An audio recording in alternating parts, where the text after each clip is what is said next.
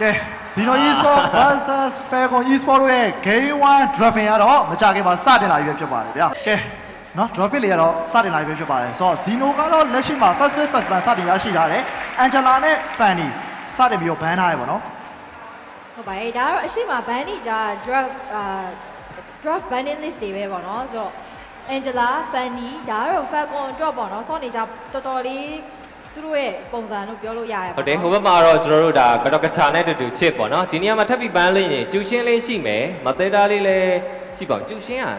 ဒီ H7 ရောယူယူရောတကယ်ကောင်းတဲ့ player တွေဆိုတော့ကျွန်တော်ထင်တာတော့အဲ့နှစ်ယောက်ရဲ့လက်ထဲကိုပေးပါမလားပေါ့နော်စောင့်တော့ကြည့်ရမယ်မပေးဘူးဆိုရင်လည်းဘန်းလေးထက်မှမထည့်ထားဘူးဆိုရင်လည်းတေးကြတယ် first pick ပဲပေါ့နော်ဟုတ်ပါဟုတ်တယ်ဒီနှစ်သိန်းလုံးကဒီ jewelable pick တွေကိုတော်တော်လေးစော့တာဖြစ်တဲ့အတွက်ကြောင့်မလို့ကျူရှင်းကတော့ ဘန်းလိုက်ရင်တော့ပို့ပြီးတော့အဆင်ပြေလိမ့်မယ်ပါနော်တကယ်လို့မဘန်းခဲ့ရင်လည်းဒီလို e-sport အနေနဲ့ first page ယူသွားခဲ့ရရှိတော့တစ်ဖက်က Falcon အနေနဲ့ Phobias တို့ Khalid တို့ဒီလိုမျိုးတွေပြန်ထုတ်လာခဲ့ရင်နည်းနည်းလေးအခက်အခဲရှိနိုင်တယ်ဟုတ်တယ်ဆိုတော့ဒီလိုအနေနဲ့သူတို့ရဲ့ sub banning phase မှာပဲ Harry ထုတ်ဘန်းထားတာမျိုးပန်းထားတယ်ဟုတ်တယ်ဘီနီရဲ့ Harry ကလည်းတော်တော်လေး aggressive တယ်ဗျာနော်သူတို့အနေနဲ့အခက်အခဲဖြစ်နိုင်တယ်ဘာလို့ဆိုတော့ကဖူက ခုနောက်ပိုင်းသုံးလာတဲ့နေရာမှာ aggressive step ပေါ့နော် item pip ကိုအရန်သွားရတဲ့ mouse ကလို့ hero မျိုးတွေအဲနတန်လို hero မျိုးတွေရွေးချယ်ခဲ့တာဆိုတော့လေနည်းနည်းတော့သူတို့အတွက်အခက်အခဲဖြစ်နိုင်မဲ့ကောင်ကိုကြိုပြီးပိတ်ထားတွေ့ရတယ်အော်အော် Phobias ပေါ့နော် Phobias okay အဲ့တော့ first page အဲ့လိုမျိုးယူလာမလားပေါ့နော်စောင့်ကြည့်စရာပဲပေါ့နော် Khalid first page ထုတ်ရင်တော့ရတယ်အဲ့လိုတော့ရှားမယ်ထင်တာပဲ Egypt တို့ Jushin တို့ပဲ first page choice ယူလာမလားပေါ့နော်ကြည့်ရမယ်ဟုတ်တယ် ဆိုတော့ Falcon အနေနဲ့ကတော့ဒီ Jushin ဘန်းမဲ့အစားပဲဒီ durable hero တွေအကုန်လုံးဘန်းလိုက်တဲ့ပုံစံမျိုးတော့တွေ့ရတယ်ပေါ့နော်ဒါပေမဲ့ Edit တို့ Khalid တို့တော့လွတ်နေအနေထားမှာရှိရ High Loss တို့ပါလို့လည်းလွတ်နေသေးတယ်ဒါပေမဲ့ Phobias ကတော့ကချာကတော့အဆိုးဆုံးဖြစ်တဲ့အတွက်ကြောင့်တော့ဒီနေ့ကောင်းတဲ့အတူ chip ကိုထားရဲဘန်းထားတဲ့ပုံစံမျိုးတွေ့ရတယ်ဆိုတော့ဒီလို e-sport ရဲ့ first page မှာတော့ Khalid ထွက်လာမလားကြည့်ရပါမယ်อืมခါလေးထွက်လာခဲ့မယ်ဆိုရင်လည်းကျူရှင်နဲ့ပြန်ပြီးတော့ဖြီလို့ရတာမျိုးတွေဖြေလို့ရတယ်အတူဆိုတော့ကျူရှင် first pick နော်ထုတ်လိုက်မယ်ဆိုရင်လည်းကျူရှင်ဒါမနေ့ကပြောလို့ယူတာပဲကျူရှင်ဆိုတော့ ကျူရှင် first pick ကိုပဲယူလိုက်ရင်းနဲ့ပဲတစ်ဖက်ကအာပြန်ထုတ်လာမယ်ခလိတို့ high loss တို့ထုတ်လာခဲ့တယ်ရှိတော့ပြန်သိမ်းလို့ရတဲ့ပုံစံမျိုးနဲ့စော့မယ်ပေါ့နော်ဆိုတော့အဲ့လိုပဲဆုံးဖြတ်ချက်ချလိုက်တာမျိုးတွေ့ရပါတယ်ဟုတ်ပါတယ်ကျူရှင်ပါလာမယ်ဆိုရင်တော့ Falcon Esport ရဲ့ draft အရာတော့ single pick off တွေဆော့ရင်ပို့ပြီးတော့အဆင်ပြေမယ်လို့တော့ထင်တယ်။ Nolan တို့ချောင်တို့ပြန်တွဲတာမမျိုးသေးတာလွတ်တယ်ရဲ့ဆိုတော့လေမသေးတာယူတာပဲဗျာနော်ဒါကျွန်တော်တို့ဒီ KH ရဲ့အကောင်းဆုံးဒါ saving method တစ်ခုတည်းမှာပါတယ်ပေါ့နော်ဒီမသေးတာ drop ဆိုရင်လည်းတခါတည်းပဲ alpha channel အော် တကယ်အကောင်းဆုံးတွဲတော့ပဲဗျာနော်ဟုတ်တယ်ဆိုတော့ Falcon အနေနဲ့ပြောမယ်ဆိုလို့ရှိရင်သူတို့ကျူရှင်မပန်းလိုက်လို့ရှိရင်ဒီလိုနေတဲ့ကကျူရှင် first page ယူသွားမှာကောင်းကောင်းသိရပေါ့နော်ဒါကြောင့်မို့လဲ Phobias ပဲဘန်ပြီးကျူရှင် page ဆော့ထားတဲ့ပုံစံမျိုးတွေတွေ့ရတယ်ဆိုတော့သူတို့အနေနဲ့ဒါကိုပြန်ဖြီးပြမဲ့ပုံစံ draft တွေထွက်လာမယ်ပေါ့နော် Okay Okay ခလီခလီကျူရှင်ဒါပါပဲပေါ့နော်ဒါဒီလို e-sport အနေနဲ့ကတော့အားလီဒီ potential ကတော့တော်တော်လေးများတယ် Zeno Esport ရဲ့ဒီ first pick နဲ့ second pick မှာပေါ့နော် third pick မှာတော့ဒီဘိုးရဲရဲ့ Kufra တွေပါများထွက်လာမလားအေးကြိုပြီးတော့ paradise လောက်လာမလားပေါ့နော်အရင်တုန်းကပွဲတွေအားလုံးဒီပါတော့ကပိုရဲကိုပိတ်ခဲ့ကြတာဆိုလေ Okay Rosalio ရဲ့ Suyu ဟုတ်စွယူ jungle jungle အနေနဲ့ဆော့လာပြီမှာဆိုတော့စွယူအနေနဲ့ကလည်း fighter assassin ဖြစ်တဲ့အတွက်ကြောင့်သူအနေနဲ့နည်းနည်း fighter ဆန်တယ်ပေါ့နော်ဟုတ်တယ်ဒါမှဒီ alpha အနေနဲ့ကလည်းဒီလိုပဲဆိုတော့ နှစ်ကောင်လုံးကဒီလိုမျိုး target border objective border တွေစိုင်ပြီဆိုလို့ရှိရင်တော့တော်တော်လေးဒါ retreat ဘိုင်းမှာတော်တော်လေးအဆင်ပြေလို့ပြောလို့ရတယ်ပေါ့နော်အရင်တော့က Rosalio က first pick တွေကိုအဲ့လိုမျိုး Julian တို့ Hayabusa တို့ရွေးချယ်ခဲ့တယ်ဆိုပေမဲ့ဒီပွဲကသူတို့အတွက်အရန် risk များတယ်တစ်ဖက်မှာလည်းယူထားတဲ့ပုံစံ objective ကိုအရန်ကိုဦးစားပေးမဲ့အနေအထားမျိုးလည်းဖြစ်နေတာဆိုတဲ့အတွက်တော့သူတို့လုံးဝ fighter jungle ကိုပြန်ရွေးချယ်ခဲ့တာဖြစ်တယ်တစ်ဖက်မှာလည်း Vini Moscow ပါဘယ်နီ Moscow Jangela head to head ရှင်းရမယ်ဆိုရင်တော့အဲ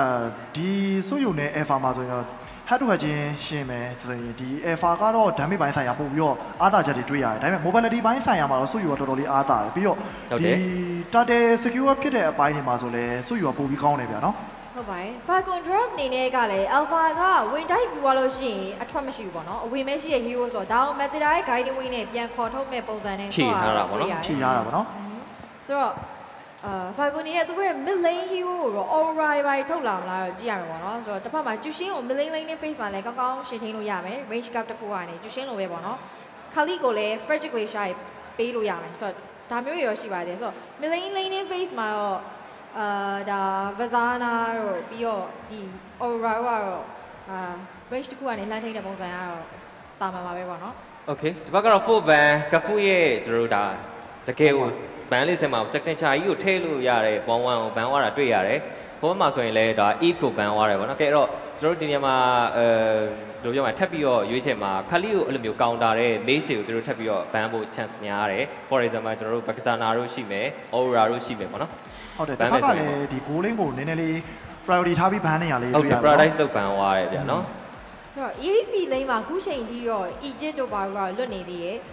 အာ Falconi နဲ့ဒါကိုထုတ်ချင်ပါမလားဒါမှမဟုတ် crowd control ပေးနိုင်မဲ့ ESP lane တာတကောင်ထပ်ထုတ်မလား high loss တွေပါလေလွတ်နေသေးရဲ့ဆိုတော့ကြည့်ရမယ်ပေါ့နော်ဆိုတော့ဟုတ်တယ် high loss ထုတ်ခဲ့ရင်တော့မှတစ်ဖက်မှာကျူရှင်းပေးထားတာဆိုတော့အဲ့လောက်ကြီးတော့လွယ်မှာတော့မဟုတ်ဘူးပေါ့နော်အဲ့တော့ကိုရဲအတွက်တော့အဲ့လိုမျိုး degree ရဲလို့ hero မျိုးတွေမြင်လာမလားပေါ့နော်အဲ့ဒါစောင့်ကြည့်အောင်ဖြစ်တယ် degree ရဲတို့ high loss တို့တော့တေချာတော့တော့ရှိရပေါ့နော်သူ့အတွက် hero တွေကိုတော့ဒီဒီခေါက် coach မျိုးကျော်တဲပြီးဘန်းသွားခဲ့တာမတွေ့ရဘူးဗျာနော်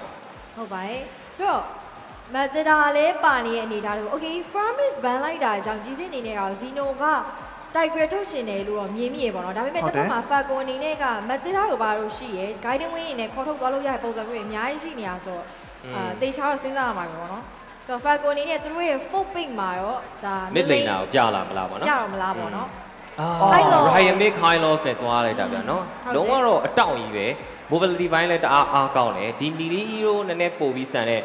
အဲကောင်တွေကိုပြန်ဖြည့်ရှင်းဖို့တန့်ကေလာကလည်းဒီဘက်မှာဆူယူတကောင်လောက်ပဲရှိနေရဆိုတော့ကဲဒီဘက်ကကျတို့မတ်စမိုင်းရဲ့အလုပ်ကိုတော့ကျတို့အများကြီးလုပ်ရမယ့်အနေအထားမျိုးရှိလာတယ်အဲ့တော့ကဖူးပါရွေးချက်သွားမလဲပေါ့နော်ဘာလိုင်းတဲ့ကိုဒါတိုးနိုင်တဲ့ draft ပုံစံမျိုးတော့ fair ကောင်းချပြတာတွေ့ရတယ်ပေါ့နော်ဟုတ်ကဲ့တော့အာဒီ front line ကနေပြီးတော့တိုးပေးမဲ့ Ryan Meek ရဲ့ high loss ကိုတစ်ဖက်ကဘိုးရိုးရိုးရဲ့ Tushin ကတော့နည်းနည်းလေးလိုက်ကြည့်နေပါတော့အမှန်ပဲပေါ့နော်အဲ့တော့ ဇီနိုအနေနဲ့သူတို့ရဲ့နောက်ဆုံး last pick နှစ်ကောင်လုံးကိုတော့ဘာထုတ်လာလဲပေါ့နော်ဆိုတော့ခုနကသူတို့အနေနဲ့ pharmacy ပိုင်းလဲဘန်းထားရဲဆိုတော့ Tiger Roam လို့ထုတ်လာမလားဒါမှမဟုတ်နည်းနည်း mobility များရဲ့ Roam မှာပဲထွက်လာမလားပေါ့နော်อืมစဉ်းစားကြတစ်ခုကတကယ်လို့ပေါ့နော် glorious pathway နဲ့တခါတည်းပဲမာတေရာကလည်းရုတ်တရက်အဲ့လိုတို့ cycling eagle နဲ့တာမယ်ဟုတ်တယ် Spear Alpha လည်းတခါတည်း Alpha လိုက်လာပြီးတော့ခွဲလိုက်မယ်ဆိုရင်တော်တော်လေး ထိမ့်မြသိမ့်မြအခြေအနေမျိုးလည်းဖြစ်သွားနိုင်တယ်ဆိုတော့အဲ့ဒီအခြေအနေတခုသူတို့ပြောပြန်ဖြေရှင်းမလဲပေါ့နော်အဲ့ဒါစဉ်းစားကြပဲဆိုတော့ Falcon ဘက်မှာလည်းအဲ့လို health restore လုပ်တဲ့ hero ရအရမ်းများတယ်ဆိုတော့ okay နတ်တန်အော်စစ်စီလက်ပံရွေးချယ်ခဲ့ပါတယ်ပထမဦးဆုံးဒါခါလီကို roll ပုတ်ဆော့မယ်သွားလိုက်တာပေါ့နော်ပုတ်တန်းပဲကိုသူတို့အဓိကဟုတ်တယ်ဟို Falcon ရဲ့ goal line မှာလည်း Moscow Moscow လိုမျိုး pure marksman ဖြစ်နေရောဒါအောင် magic damage ပေးနိုင်တဲ့နတ်တန်လို hero မျိုးနဲ့ပြန်ထိန်းလိုက်တယ်ပေါ့နော်ဆိုတော့ okay အော် Falcon အနေနဲ့ကတော့ last pick မှာတော့ Vazana ထွက်လာပဲတွေ့ရပဲဆိုတော့ ဟုတ်ပါတယ်ဒါကျူရှင်းနဲ့ mid lane lane နဲ့ face မှာရှင်းထိဖို့ဆိုရင် Vazana aura ပြီးအဲ့လောက်ကြီး lane နဲ့ face မှာတားတဲ့ပုံစံတော့မရှိဘူးပေါ့နော်ကဲဆိုတော့ Falcon ရဲ့ drug pick ကတော့ high loss ရဲ့ revitalize ပါမယ် Metadama မှာ oasis ပါမယ်အာ alpha အနေနဲ့က high restore အရင်လုပ်လို့ရမယ်ပုံစံမျိုးရှိမယ်တကယ်တော့ second track ကတော့တကယ်အခြေပွဲရလို့မျိုး crowd control အတောင့်ကြီးပြန်လှုပ်ထားတယ်အဲ့တော့ဘယ်လိုအခြေအနေနဲ့ဖြစ်သွားမလဲဆိုတာကတော့ game 1ကိုကဆိုင်နဲ့တူတူကြည့်လိုက်ရအောင်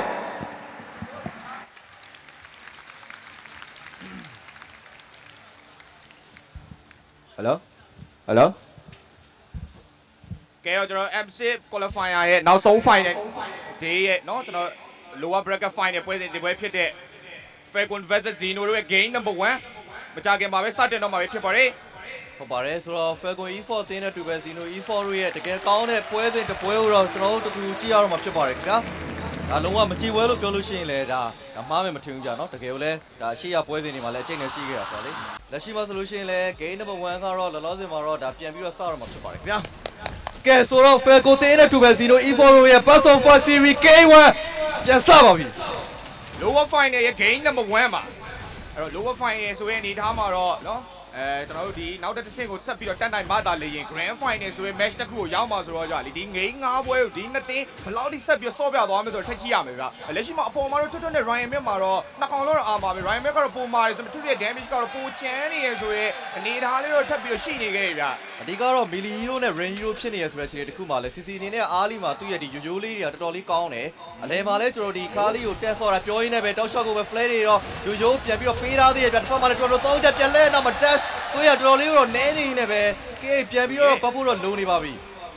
ဘိုးရဲ့အားလေးခါလေးနေနေပေါ့နော်သူတို့သုံးချက် damage ကအရင်ကောင်းတယ် gap ပါထပ်ပြီးတော့ပါမှာဆိုတော့အားလေး impact ကလေ zero နေနဲ့ထပ်တာနိုင်တယ်အဲ့တော့မှ off ကထွတ်ထွတ်က CC ထက်ရတာဆိုတော့ game number 1မှာတော့ Faku Esport အနေနဲ့စပြီးတော့တိုင်ဖက်နေပါပြီ Reason Leo တီလည်း immune အရင်များတဲ့ jungle တကောင်ဆက်လက်ပြီးတော့ပိုင်ဆိုင်ထားတဲ့အနေအထားတစ်ခုမှာဒီ tournament မှာ unlock ထားတဲ့လက်ရှိအနေအထားမှာပေါ့နော်စောခဲ့ရတဲ့ပွဲတိုင်းစီမှာဒီ jungle လာဒီ ring rate အရင်များရဗျ ဟုတ်ပါတယ်เนาะကျွန်တော်တို့ဒီစူရိုအနေနဲ့ကတော့ဒီနောက်ပိုင်း tournament တွေမှာပြန်ပြီးတော့အသုံးပြုခွင့်ရရတဲ့အပြင်တောက်လျှောက်ပစ်လာကြတယ်အဲ့တော့ဘီနီနဲ့ကဖူးအနေထားမှာဆိုလို့ ရှိရင်လည်းဒါကဖူးကတော့နည်းနည်းလေးပို့ပြီးတော့ aggressive playing style တစ်ခုပြနေတဲ့ပုံစံပဲဗျအဲ့တော့ထွတ်ထွတ်ကလည်း laning phase မှာတာနေတယ်ဆိုတော့ laning phase သုံးခုလုံးကြည့်မယ်ဆိုလို့ရှိရင်တော့ဇီနိုဘက်ကအားလီနည်းနည်းလေးတာနေလို့ပြောလို့ရရဗျာနော်အဲ့ပြဇီနိုအနေနဲ့တော့ magic အနေနဲ့ပုံများတယ်လို့လောလောဆယ်တွတ်တွတ်တကောင် dash dash လေးတော့အตาရလေးမပြန်တော့ရှောင်ထားရဲ့ဒါပေမဲ့တကောင်နဲ့နောက်မစိုးဘူးနဲ့ထက်လိုက်လာလေးပဲတေတော့မတေသွားပါဘူး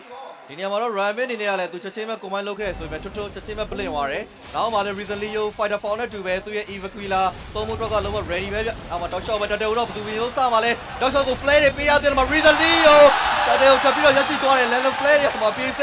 ပြန်ပြီးတော့ပတ်ခွင့်မကြသေးဘူးဗျ။ကာလီတော်တော်သုံးချက်တော်လေးကိုကောင်းနေသေးတဲ့နောက်မှာတော့တစ်ဖက်ကဖသနာပြန်ပြီးတော့ကြောက်လို့ yo yo two man level play တွေ dog shot ပေးလို့နောက်မှလည်း Ramen ပြန်ပြီးတော့ပတ်ခွင့်ရပေါ်တော့ဘလို့ဖြစ်နေတော့အဆုံးမှာ Ramen မှာချက်ပြီးတော့ကြာနေနေပဲ two man down ပဲတခုပါပဲ။ အားလေးမှာတော့ first star နဲ့ into ပဲ hero king နှစ်ကောင်တော့ဇီနိုအနေနဲ့စပြီးတော့ပဲတိမ့်ပိုက်လိုက်ပြီဗျအဲ့ဒီနောက်မှာအောက်မှာရှိနေခဲ့တဲ့ဒီဘင်းနီကောင်ဖူးမှာလည်းဒီကောင်ဖူးနေနဲ့ပေါ့နော်လုံးဝတော်တော်လေးကိုတာနေရဆိုရင်အနေထားတစ်ခုနဲ့သူ free စားနေရဗျသူရဲ့အားလေး king super position intro video ဘင်းနီနေနဲ့တော့မကြော်နိုင်ဘူးပေါ့နော်နောက်ပိုင်း game တွေရောက်သွားမယ်ဆိုရင်လည်းဘင်းနီဒီ win champ ပြန်တုံးလို့မရရဲ့ပဿနာတွေတော့ဖြစ်သွားနိုင်တယ်ဗျနော်အဲ့ဘယ်လိုမျိုးဖြစ်ရှင်းမှလဲလက်ရှိဇီနိုနဲ့ magic damage ကိုအားတာနေခဲ့တဲ့အနေထားတစ်ခုမှာတကယ်တောင်းလျှောက်ကိုဖိထားဗျအားလေးမဒီကျူရှစ်စစ်စီဆိုရဲ combo တွဲလုံးတစ်ခုတွေကြားထဲမှာဒီဘိုးရဲ့ခါလေးတိုလေးတကယ်ကိုအဆင်ပြေနေခဲ့တာတော့နောက်မှ recently ကိုရပေးတဲ့ damage တွေကလည်းကွက်တီကိုကြာနေရဗျတော်တော်လေးကိုကောင်းတယ်လို့ပြောလို့ရတယ်ဒီခါလေးရဲ့တူတော်သုံးချက်ကတော်တော်လေးကိုဒန်ပြီးများနေရဗျပြီးတော့ဒီ recently ကလည်းသူ့ရဲ့ဒီ fighter form assassin form အပြောင်းလဲနေတူပဲပရက်ထဲမှာတစ်ဖက်သိအောင်စိတ်ဒုက္ခတော်တော်လေးကိုပေးနေတယ်လက်ရှိလည်းအောင်လိုင်းကိုကကင်လို့ကိုစူးစမ်းနေတော့မလန်ဒဖလက်ထပ်ပြီးတော့သုံးထားတဲ့နောက်မှာပဲပြန်ပြီးတော့ဘီဒီပတ်ဖို့စူးစမ်းပေမဲ့ဘိုးရဲ့အဆုံးသတ်ပေးလိုက်တယ်ဗျ အဲ KH ပြန်လာပြီးတော့ကာဘာပို့တဲ့ချီကြိုးသားရဲဆိုပေမဲ့အချိန်ကတော့မမီတော့ကာဖို့ပြန်ရဖို့တော့ချီချီနေရဲဆိုမလွဲပါဘူးသုံးတော့ဘက်ကတော့ရှိနေခဲ့ KH ကပြန်ချသွားရင်ဒီဘက်မှာလည်းသူတို့ကမရရပြီ KH ထပ်တောင်းသွားပြန်ပြီဗျဝဲကြီး3မိနစ်ပဲရှိတယ်ဟီယိုက၄ကောင်တီတီကိုကျွန်တော်ပေးထားရပြီဒီနိုတော့2ကြီးကျော်ရင်တော့ပေးထားရဗျနောက်တော့ 2.9k ဆိုတဲ့နေရာတစ်ခုတော့ထပ်ပြီးတော့ပိုင်ဆိုင်ထားတဲ့ပြင်မှာအောင်လိုင်းရဲ့ first star တစ်လုံးကိုလည်းကဖူး ဆက်လက်ပြီးတော့ရိုက်ချိုးနေပါသေးတယ်ဆိုတော့ဒီတစ်ခေါက်မှာတော့ early intro က Zeno အတွက်တော်တော်လေးကိုတော့အသာသေးရနေတဲ့အခြေအနေတစ်ခုပါပဲဂေကိုဒီပုံစံတိုင်းဆက်သွားမှဆိုလို့ရှိရင်တော့ Falcon နေနဲ့နည်းနည်းလေးတော့အချင်းနဲ့ကြက်ထဲရောက်လာပြီလို့ပြောလို့ရတယ်။ Vini ရဲ့ famous space ကလည်းနည်းနည်းလေးပျောက်လာသလိုမျိုးဘူရဲနေရလည်းမြင့်မှာသူ့ရဲ့ early damage ကိုကောင်းကောင်းကြီးတုံးချပြီးတော့တစ်ပတ်မှရှိနေခဲ့တဲ့ PA7 နဲ့ K ကိုလုံးဝ blocking လုပ်ထားတာဗျ။ ပွဲကြီး၄မိနစ်ပဲရှိသေးတယ်နော်၄မိနစ်ပဲရှိသေးတယ်ဒီနိုကအရန်ကိုစာနေခဲ့ရဗျဒီတာတေးပါထက်ရောက်သွားမယ်ဆို network ကတည်းကပို့ပြီးတော့ပြတ်သွားနိုင်တယ်အဲ့ဒါဆိုကိုကြီးပြောသလိုပဲကြီးက Falcon နေနဲ့ပြန်ချဖို့တော်တော်ကြီးခင်းရင်းသွားနိုင်တယ်ဗျဟုတ်တယ်အဓိကဗီနီယိုသူတို့ space ပေးဖို့တော့ပြန်ပြီးတော့လိုအပ်လာသလိုမျိုးအဓိကဒီ mid juro နှစ်ယောက်ရဲ့ lane ရဲ့ rotation ကိုတိတ်ပြီးတော့မတွေ့ရသေးဘူးဆိုတဲ့အခြေအနေမျိုးဖြစ်နေတာပါနော်ဆိုတော့ K နဲ့ P7 ဒီပတင်မှာဘာတွေလုံနိုင်မလဲဆိုတော့ကျွန်တော်ကြည့်ရအောင်ဗျ ကဲကိုရဲ့စာပြီးဝင်လာရင်သုံးချက် KX နဲ့ပြန်လှည့်ထားရဘာမှတော့အများကြီးဆက်တော့တော့မရဘူးပြစတန်ပေးထားတယ်ကာပူ damage တေချားရဲမယွယွဖတ်တဲ့င်းနဲ့ပဲ KX ကတော့ပြန်ချသွား stamp to death hole ဘက်တရီပြန်ပြေးလိုက် right mid ကတော့ချန်နေကိန်းနဲ့ပဲ recently ပြည့် damage တေချားရဲမှာတော့ down သွားရပြီဗျနောက်တဲ့ second objective ကိုပါသတ်မှတ်ပြီးတော့ပေးဆက်ရဖို့တော့ရာခိုင်တော့အရင်များသွားပါပြီဒီပတင်မှာလဲ2 man down ပတင်တစ်ခုတော့ Zeno အကောင်းဆုံးပိုင်ဆိုင်နေနေပဲ second turtle over ဆက်လက်ပြီးတော့သိမ့်ပိုက်ထားပါသေးတယ်အာလီမာတွေက number 3.5k တာသီးရပြီးတော့ ဒါ Falcon Esport ကိုကောင်းကောင်းကြီး control လုပ်ပြီးတော့ဆော့ထားမျိုးတွေ့ရတယ်ပြီးတော့ဒီ Cup 4က comfortable fan နေရတဲ့အချိန်မှာတစ်ဖက်ကဘီနီယာကျတော့တော်တော်လေးကို PR တွေကြားထဲကနေပြီးတော့ fan နေရဆိုတော့ကိုရီးယားနှကောင်ကြားထဲမှာလဲ network တစ်ခုအပြင်မှာ level လည်းတစ်ဆင့်လောက်ကိုစပြီးတော့ကွာလာနေပြီဗျ။အိုးကာဖူပေးတဲ့ damage တွေကြားထဲမှာ first tower တစ်လုံးထပ်မှတ်ပြီးတော့ပေးလိုက်ရပြီဗျ။အဲ့ဒီပြင်မှာနော်အောက်မှာလဲတောက်လျှောက်ကိုပဲ fan နေသေးတာอืม ဟုတ်တယ်အပေါ်အောက်တွေကိုပါတောက်လျှောက်နော်ရရှိတိုင်းနဲ့ပဲ tower နှလုံးကျွန်တော်တာတဲ့နှစ်ချိန်နဲ့တူ network က 5K ဗျ။ပွဲကြီး9မိနစ်မှာ network 5K နီးပါးဆို1 minute 1K နှုန်းနဲ့တော့ပြောလို့ရသွားပြီ။တော်တော်လေးတော့များတဲ့ network တစ်ခုတော့ပိုင်ဆိုင်ထားတဲ့ Zeno လို့ပြောရလိမ့်မယ် Falcon နေနဲ့ဒီချိန်မှာလောက်ရမှာကတော့တစ်ခုပဲသူတို့ battle ထပ်ပြီးတော့ဆိုင်လို့မရတော့မရဘူးတော့မရတော့ဒီ last တဲ့ objective ယူမဲ့အစားကျွန်တော်အနေနဲ့ကတော့ side lane မှာ lane split နေတဲ့ hero တစ်ကောင်ဝိုင်းပြီးတော့ဖြတ်တာမျိုးတော့မလို့ရှိရင်လည်းဒီ tower ပြန် trade တာမျိုးကပဲပို့ပြီးတော့တန်လိမ့်မယ်ဗျာတကယ်လို့ဒီ Turtle 5ကိုဆက်ပြီးတော့သွားနေမယ်ဆိုလို့ရှိရင်တော့အားလေးမှာကွာနေတဲ့ network ကြောင့်မလို့အသာသီးရောက်ကမလွယ်ဘူးလို့ပြောတဲ့နောက်မှာထွတ်ထွတ်တော့မှထပ်ပြီးတော့ stand နေအောင်နောက်မှာ ban ချက်ပြန်ပြီးတော့ပေးထားတဲ့နောက်မှာတော့ dash နေရတော့ထွတ်ထွတ်ကိုပြန်ပြီးတော့အဆုံးသတ်လိုက်ပါပြီอืมအောက်မှာတော့ Fago Esport နဲ့ Hero Gate တစ်ကောင်တွေတော့ပြန်ရတာတယ် KS နေနဲ့လည်း Holy Twist နဲ့ OIC နဲ့ပြပြီးလိုက်ဒါပေမဲ့ Lemon Right Mid လေးကောင်အောင်ပေးတဲ့ damage တွေကြားထဲမှာတော့ပြန်ကျသွားတယ်ဗျာဒီလိုနဲ့တောင်းလျှောက်ကို revenge တွေပြန်ပေးထားနိုင်တာပါထွတ်ထွတ်ကိုပေးလိုက်ရတဲ့နောက်ပိုင်းမှာ make it first hour နဲ့တူ Ryan Mick ကိုပြန်ရခဲ့တာရတော်တော်တန်သွားပြီဗျာ အဓိကတော့ဒီ Mayor First Hour ပေးလိုက်ရတာ Falcon တော့ကတော်တော်လေးအထိနာတယ်ဗျာအထူးသဖြင့်ဒီ First Law မပေါ်ခင်ချိန်လေးမှာပေါ့နော်တကယ်လို့နောက်ဝရန်တာနေတဲ့ချိန်တစ်ခုမှာ First ဒီ Tower ပေးလိုက်ရတယ်ဆိုလို့ရှိရင်တော့ First Law ဒန်တင်တစ်ခုက Falcon တော့ပတ်ဆိုင်မှုတော့ခက်ခဲတဲ့ချိန်တစ်ခုဖြစ်လာပါလိမ့်မယ် Tower Advantage တွေဆုံးရှုံးလာတာဖြစ်တဲ့အတွက်ကြောင့်မလို့ BNS Space ကလည်းတဖြည်းဖြည်းနဲ့ပျောက်လာတယ်ဆိုတော့ဒီချိန်မှာ Falcon အနေနဲ့ကတော့ lane split မလား ဂန်ဂင်ထပ်ပြီးတော့လုံမလားဘာလုံမလဲဆိုတော့ကျွန်တော်ကြည့်ရမှာဗျာဒါပေမဲ့နေနာတော့နေနေပြီဖြစ်တဲ့အတွက်ကြောင့်မလို့ဒီအနေထားကနေရုံထွက်မှုအတွက်ကတော့ objective တစ်ခုကိုတော့မဖြစ်မနေရှာဖို့တော့လိုပါတယ်ဟုတ်တယ်ဗျာနော်အဲ့တော့ဇီနိုနေနဲ့တောက်လျှောက်တာနေခဲ့တဲ့အနေထားမှာတော့သူတို့ကတောက်လျှောက်အသာစီးပဲရအောင်ဆော့ပါပဲအဲ့ဒီမှာ Falcon နေနဲ့တော့ရှီယာကူဘီပေါ်ခဲ့တယ်လို့ပဲ lane split လေးတွေပြန်ပြီးတော့လောက်တိုင်းမှာတော့ဒါပေမဲ့ Samstone ဒါပေမဲ့ဒီတစ်ခါ dash retreat တော့ပြန်ရတာရဲ့ဗျဘေးနေက damage အနေနဲ့ပြတ်ထွက်လာတယ်ဆိုပေမဲ့ Ryan Mick ကတော့ချန်နေခဲ့ပါတယ် ဇီနို e-sport ရဲ့များပြားလာတဲ့ damage တွေကိုတော့ဒီအချိန်မှာ Falcon e-sport ဘလုံးမပြန်ချလို့မရဘူးဗျမရောက်ဘူးနောက်ဘောကရမ်းပြတ်နေရလဲပါတယ်အာလီမာတွေက 5k လောက်ကွာနေတာပေါ့နော်ဒါပေမဲ့တခုတော့ရှိတယ်ဘီနီနေနဲ့ဒီအချိန်နေတခုကိုခွင်ကောင်းယူပြီးတော့မှအောင်လန်းမှာ space ရတယ်အဲ့ဒီပြုံမှာ Falcon ကနောက်ဆုံးတက်တွေကိုပြန်ပြီးတော့ယူထားနိုင်တယ်ဆိုတော့ဇီနိုနေနဲ့လည်းတာနေရဆိုပေမဲ့လည်းအမားတော့လုံးလုံးမရဘူးကဖူးနည်းနည်းလေးတော့ speed out destruction ကိုပြန်ကြည့်နေနေပဲ super position တော့ပြန်သုံးသွားရတယ်ဗျာနော် အဲဝင်ဘလုံးဘိုးတော့ကတော့မလွယ်ဘူးဗျာနော်အဲ့တော့ဘင်းနီလောလောဆယ်မှာတော့ fan လေးတော့အနေငယ်ပြန်ပြီးအစီပြေလာပြီအော်သူတို့ဒီအဲလိုအပ်နေတဲ့အနေငယ် objective လေးတွေကိုလည်း Falcon နဲ့တဖြည်းဖြည်းတိမ့်ပိုက်ထားနိုင်ခဲ့တယ်လို့ပြောရမှာပဲပေါ့နော် network ကိုတော့မရရအောင်တော့ပြန်ပြီးတော့ညှိနေတယ်အဲ့ Falcon e-sport အနေနဲ့ item တွေပြန်ထွက်လာတဲ့အချိန် item ပြန်မာလာတဲ့အချိန် Ryan Mick ပြန်မာလာတဲ့အချိန်ကျရင်တော့ zero အနေနဲ့လက်ရှိ battle ဆိုင်ရတဲ့အနေငယ်ကိုပြန်ခက်ခဲသွားနိုင်တယ်အဲ့အချိန်တွေတခါလေပြင်ဆင်ထားမှရမယ်ဆိုပေတွတ်တွတ် damage တွေကြားထဲမှာတော့ PH7 စပြီးတော့ recently ကို contain ထားတော့မယ်ဗျ Ryan Mick ပြေးဖို့ချိုးလိုက် case ပြန်ပြီးတော့ပြေးဖို့ချိုးလိုက်တယ်ဆိုရင်မလွတ်လောက်ဘူးတင်တယ် Ryan Mick ကတော့လွတ်သွားတယ်ဆိုပေမဲ့ case ကတော့မလွတ်ခဲ့ဘူးဗျအဓိက Zeno Esport ရဲ့ drug ကအဲ့ဒါပဲ CC ရဲ့ကာတိန်ကောကိုနောက်ကနေပြီးတော့ဇူရှင်ကလိုက်ပြီးတော့ဆွဲရတာပြောမယ်ဆိုရင်နှစ်ကောင်ချိန်ထားတဲ့ချိန်မှာနှစ်ကောင်လုံးကနောက်ကိုပြန်လှန်ပြီးတော့ပါလာမှာအဲ့ဒါဟိုမှာဖမ်းပေးမှာခါလီ ခါလီဖန်ပေးထားတဲ့ဟီးရိုကာတင်းကောချိတ်မယ်ကာတင်းကောချိတ်နေရကောင်ဇူရှင်ကလန်ဒန်ဖလဲသုံးမယ်ဆိုတော့သူတို့ရဲ့ကွန်ဘိုတစ်ခုကိုတော့ဒီပွဲချိန်10မိနစ်မှာစပြီးတော့တွေးလိုက်ရပြီနောက်ပိုင်းမိနစ်တွေမှာခေါင်းတိုးဖို့ထုတ်လာတဲ့ဟီးရိုတွေဟာခေါင်းတိုးရခလာနိုင်ရရှိတဲ့ကုံနေနေကတော့ main splitting ကိုပဲပို့ပြီးတော့လုပ်ဖို့အတွက်ကျွန်တော်တို့ဒီနေရာမှာအကြံပြုချင်တယ်ဗျာနော်ဟုတ်တယ်ဗျာနော်ဂျီနိုတို့နဲ့ fan space တော်တော်များများရယ်နော် chance ဆုံးနေရောဒီမှာသူတို့ fan fan မာတွေရောနော် အဲလောကဒီရိုးရိုးကင်ပေါက်တာရောဆိုတော့ကြလေအဲ့ဒီ spare တွေနဲ့နေဇီနိုကတော်တော်လေးကိုစင်ပြေနေရဗျာနော်အာလင်းကနေကအစင်ပြေခဲ့တာအခုချိန်10မိနစ်တွေကိုတို့တို့တောက်လျှောက်ကိုစင်ပြေနေတာ Falcon နဲ့ Hero ကတကောင်ပဲရတာရယ်ဇီနိုက10ကောင်တောင်ရတာဗျာဟုတ်တယ်ဂိုးလင်းနာကောင်ကြားမှာဆိုလို့ရှိရင်လည်းနောက်ဝကဒါ 1k လောက်ထိသွားပြီးတော့ဟာနေရဲ့အခုဆိုလို့ရှိရင်လည်းနေတန်က Holy Twister ပြီးဖို့အတွက်သိပ်မလိုတော့ဘူးဗျာတစ်ဖက်မှာတော့ဘီနီနီနဲ့ item နှစ်ချောင်း basic item နောက်တစ်ချောင်းထပ်ပြီးတော့လုံနေပါသေးတယ်ဆိုတော့ဒီ jungle နှစ်ယောက်ကြားထဲမှာလည်းနောက်ဝကတော်တော်လေးတော့ဟာနေတဲ့ခြေနေတစ်ခုတော့ရှိတယ်ဗျာနော်ဆိုတော့ဒီနောက်ဝဟာနေတဲ့အတွက်ကြောင့်မလို့ team fight ပတ်တွေဆိုင်လို့ဆင်ပြရမလားဒီလောက်ကိုပေးလိုက်မလားဆိုတာကိုကျွန်တော်တို့ဆက်ပြီးတော့ကြည့်ရအောင်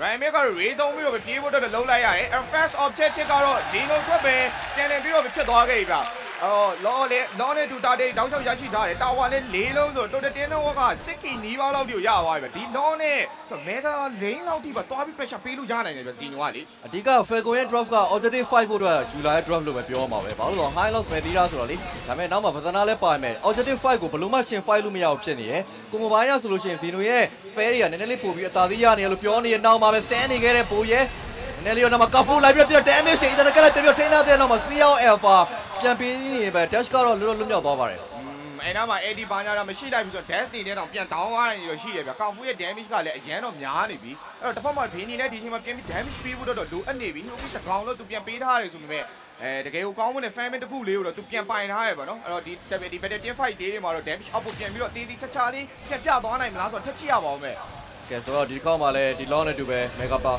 mega tower ရဲ့ passive shield တွေကတော့တဖြည်းဖြည်းနဲ့ပြုတ်တော့ပြုတ်လာပြီဗျာနော်အဲ့တော့ laning phase တွေကလည်း tower တွေကတော်တော်လေးပါသွားဖြစ်တော့ကြောင့်မို့ now တွေကတော့ 7k နဲ့ leading ဖြစ်နေတယ်အဲ့တော့ Zeno အနေနဲ့တော့သူတို့ဒီ lane phasing ပဲလုပ်မလားအော်အပေါ်လန်းကိုတော့သူတို့ဒီ long နဲ့တူပဲတခါတည်း try မလားဆိုတော့ကြည့်ရမှာပါ damage ကတပြေးပြေးတော့စိတ်ထိတ်နေပြီဗျာနော်။ဟော Rinsley ရော damage မှာတော်တော်လေးများနေ။ Stanson ဖလက်ကာလာနေဟုတ်တယ်လေးတော့ကာဘူး damage ကိုပေးထားတယ်ဒါပေမဲ့ dash ပြန်ခံလာတဲ့ diamond ဘင်းဒီပြစ်ခွင့်တော့ရသွားပြီ။ Ryan Mick ကလည်း rain အကောင်းဆုံးခံလာပြီးရထပ်ပြီးတော့ဝင်လာရင်းနဲ့တကယ်ကို damage ချပါလားဒါပေမဲ့ position အရန်အောက်နေတဲ့တိုင်းတာတစ်ခုမှာတော့ Falcon အနေနဲ့မလောက်ထားဘူးဗျ။ကဲဆိုတော့ဒီပြောရေးဆိုရင်တော့ Moscow လိုက်ပြတဲ့နောက်မှာ Vengeance ကာတေးကိုတိုတိုတိုတိုဗီဒီယိုသုံးသက်ပြသွားတာတကယ်ကိုကောင်းပါတယ်လုံးဝ Vengeance နဲ့ကာတေးကိုတွေကြားထဲမှာပြန်ပြီးတော့ဘီနီပြန်ကြတယ်ဗျာရိုးရိုးနေနေတော့သုံးအောင်ဂျားထဲမှာတော့မလက်ပဲနဲ့ damage ကအပိုင်ပေးထားတာပါ အဲ့တော့ Fairway Esport အနေနဲ့ပြန်တက်လာဖို့တကြိုးစားခဲ့တယ်ဆိုပေမဲ့ Zeno ရဲ့များပြားလာတဲ့ damage တွေကိုတော့ဒီချိန်မှာကြော်ဖို့တော်တော်လေးကိုခံရင်းနေနေပဲနောက်တဲ့ Mega Lane တွေမှာထပ်ပြရတော့မလား Ray တွေထပ်ပြခင်းတာကောက်ဟိုးဘက်တဲဒီ live ဖြစ်ထားတယ်ပဲဒါပေမဲ့အကောင်းဆုံးတော့ cover ပေးထားပါသေးတယ်ဇီနိုတို့အနေနဲ့မဲကားမျိုးတောင်းလျှောက်ကိုရမ်းကျင်နေရဆိုပြီးဖယ်ကိုနေနဲ့လည်းအကောင်းဆုံး defensive တစ်ခုပြန်ပြထားနိုင်ပါသေးတယ်ဟုတ်ပါတယ်ဆိုတော့ဒီချိန်မှာတော့ဒါ dash real spear alpha လိုက်ပြီးတော့သုံးလိုက်တော့မှာ couple ပြန်ပြီးတော့ပေးလိုက်ရပြန်နောက်မှာလည်း Kali Sandstone dash ပြန်ကြတယ်တို့သုံးကြ Ram နဲ့ flare တော့ချောက်ထိနေတဲ့နောက်မှာတော့ Ram ပြန်ကြနေနေပဲ 1 for 2 trade ဆိုတဲ့ခြေတစ်ခုတော့ Zeno နဲ့တူ Falcon ပြန်ပြီးတော့လဲတာပါသေးတယ်ဒီချိန်မှာအဲယိုယိုကိုသွားပြီးတော့ game မလုံးနိုင်ဘူးဆိုရင်တော့ဖယ်ကိုနေနဲ့ဗတန်ဆိုင်ကတော်တော်ကြီးကိုခက်ခဲမှာ big 7ချက်ပြီးတော့ဖမ်းခဲ့တာရဲ့နေတော့မတကားရဲ့ down လာရပြီဗျာဖယ်ကို esport နှစ်ခေါက်တော့ချန်နေပါသေးတယ်ကဲဆိုတော့ဒါတစ်ဖက်မှာ BD နေနဲ့လည်းသူ item ထွက်လာရင်တော့မှသူ့အနေနဲ့တစ်ဖက်မှာဒီပါနီရဲ့ CC ကသူ့ရဲ့ counter hero အဲ့တော့သူအရင်ရှင်ပြီးတော့ပြစ်ဖို့ဆိုတာဘယ်တော့မလွယ်ဘူးပေါ့နော်အဲ့တော့ ဒီအချိန်မှာလည်းဒါ mega နှလုံးကလည်းပေးထားရတယ်နောက်ကလည်း 7k ကွာနေသေးတယ်အဲ့ဒီပြုံမှာ second law ကလည်းတိတ်မကြခင်ပေါ်ရမယ်ဆိုတဲ့အချိန်မှာ reason leo ဒီလုံးဝမတည်သေးသလိုမျိုးတစ်ဖက်မှာလည်းကဖူးရဲ့ damage တွေကလည်းများနေပြီအဲ့ဒီပြုံမှာဘိုးရဲ့ initiative တွေကလည်းတကယ်ကိုကောင်းနေကြတာဆိုတော့ဒီပွဲကတော့ falcon နေနဲ့ objective ကိုအရေးဆုံးပြီးလူယုံကလွဲပြီးတော့ကြံတာတော့အများကြီးလုံးစရာတော့မရှိတော့ဘူးဗျာဒါပေမဲ့ ဒီဇီနိုနေနဲ့တောက်လျှောက်တာနေခဲ့ရဆိုပေမဲ့ကျွန်တော်နည်းနည်းတော့စပြီးတော့တတိထားမိလာပြီပေါ့နော်ဖယ်ကိုနေနဲ့ damage တော့ပြန်ထွက်လာပြီဟုတ်တယ်သူဘယ်တဲ့ set တဲ့လေးတွေမှာတော့သူကောင်းမှုပြန်လုံးလာနိုင်ပြီလို့တော့ပြောလို့ရတယ် level မပြည့်သေးရလေတခုပဲပေါ့နော်ဒါပေမဲ့အနေနဲ့ပြန်ချလို့ရနေဆိုရင်အနေထားတစ်ခုမှာဒီ second objective တစ်ခုမှာဘယ်တဲ့ change တစ်ခုပြန်ပြဖြစ်သွားနိုင်မှာလားဒါမှမဟုတ်ဇီနိုကပဲတောက်လျှောက်ကိုဖိထားနိုင်မလားဆိုတော့ဆက်လက်ပြီးတော့ကျွန်တော်စောင့်ကြည့်ရပါဦးမယ်ကဲဆိုတော့ဒီလောက်တော့လုံးဝပေးလို့တော့မရတော့ cutting call 2 match ထပ်ပြီးတော့ final this spear alpha identical 3 match ပြန်ပြီးတော့ကာရာတီရဲ့ပြန်နေတဲ့ flat တော့လိုက်တော့နေမှာကာလီထပ်ပြီးတော့ဖန်ပေးတိုင်းတော့ ram ပြန်ပြီး forward လုပ်ပြီးမှလည်းတစ်ဖက်မှာလည်းတွတ်တွတ်တောက်လျှောက်ကိုပဲ dash ကိုလိုက်ကြည့်နေရင်းနဲ့ပဲဒီနေရာမှာတော့ hero key ကတော့လုံးဝထွက်ပေါ်ခြင်းမရှိခဲ့ပါဘူးဖယ်ကွင် e-sport အနေနဲ့တီတီတီချာလေးတော့ပြန်ပြီးတော့ forward သွားနိုင်တယ်လို့ပဲပြောရမှာပဲဗျဒါပေမဲ့ second law ကြီးထပ်ပြီးတော့ပေးထားတဲ့အတိုင်းအတာတစ်ခုမှာတော့ ဆက်လက်ပြီးတော့ defend ဖို့အတွက်အဆင်ပြေပါမလား Q lane man ကပေးထားတဲ့အနေအထားတစ်ခုမှာ mega နေပြီးတော့ lock ကလည်းတက်တက်လာပြီးနောက်တဲ့ free wave လေးရတယ်တခါတည်းအလိုက်တစ်တစ်ဝင်လာမှာဆိုတော့ free 8ဒီ free wave 3 wave နဲ့ဒီ lock ကိုပေါ့နော်ဆက်လက်ပြီးတော့ defend ဖို့အတွက် fake e-sport အဆင်ပြေပါမလားတက်ကြည့်ရပါမယ်ကဲဆိုတော့ဒီမှာလဲ lawyer တက်လာနေပြီ super position damage ပေးထားသေးရဲ့ဗျတစ်ဖက်မှာလည်း KF play ကပြန်ပြီးတော့ကုန်ထားသေးရဲ့လုံးဝတောင်းလေးပြချိုးချိုးသား spear ever တက်ပြီးတော့ပေးရမှာဝင်တော့နေချပြန်ဖွင့်နေနေပဲ game number 1 Zeno e-sport တော့ပဲပြစ်သွားခဲ့ပါပြီဟို လုံးဝမထင်ထားတဲ့ reset တစ်ခုကိုတော့ Zeno e-sport အနေနဲ့ game number 1မှာ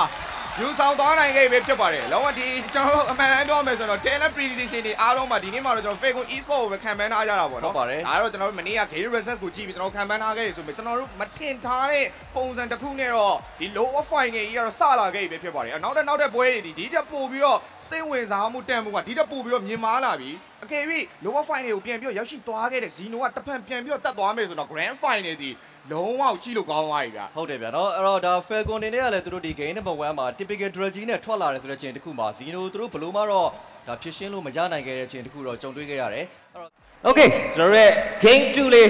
စတင်လိုက်အောင်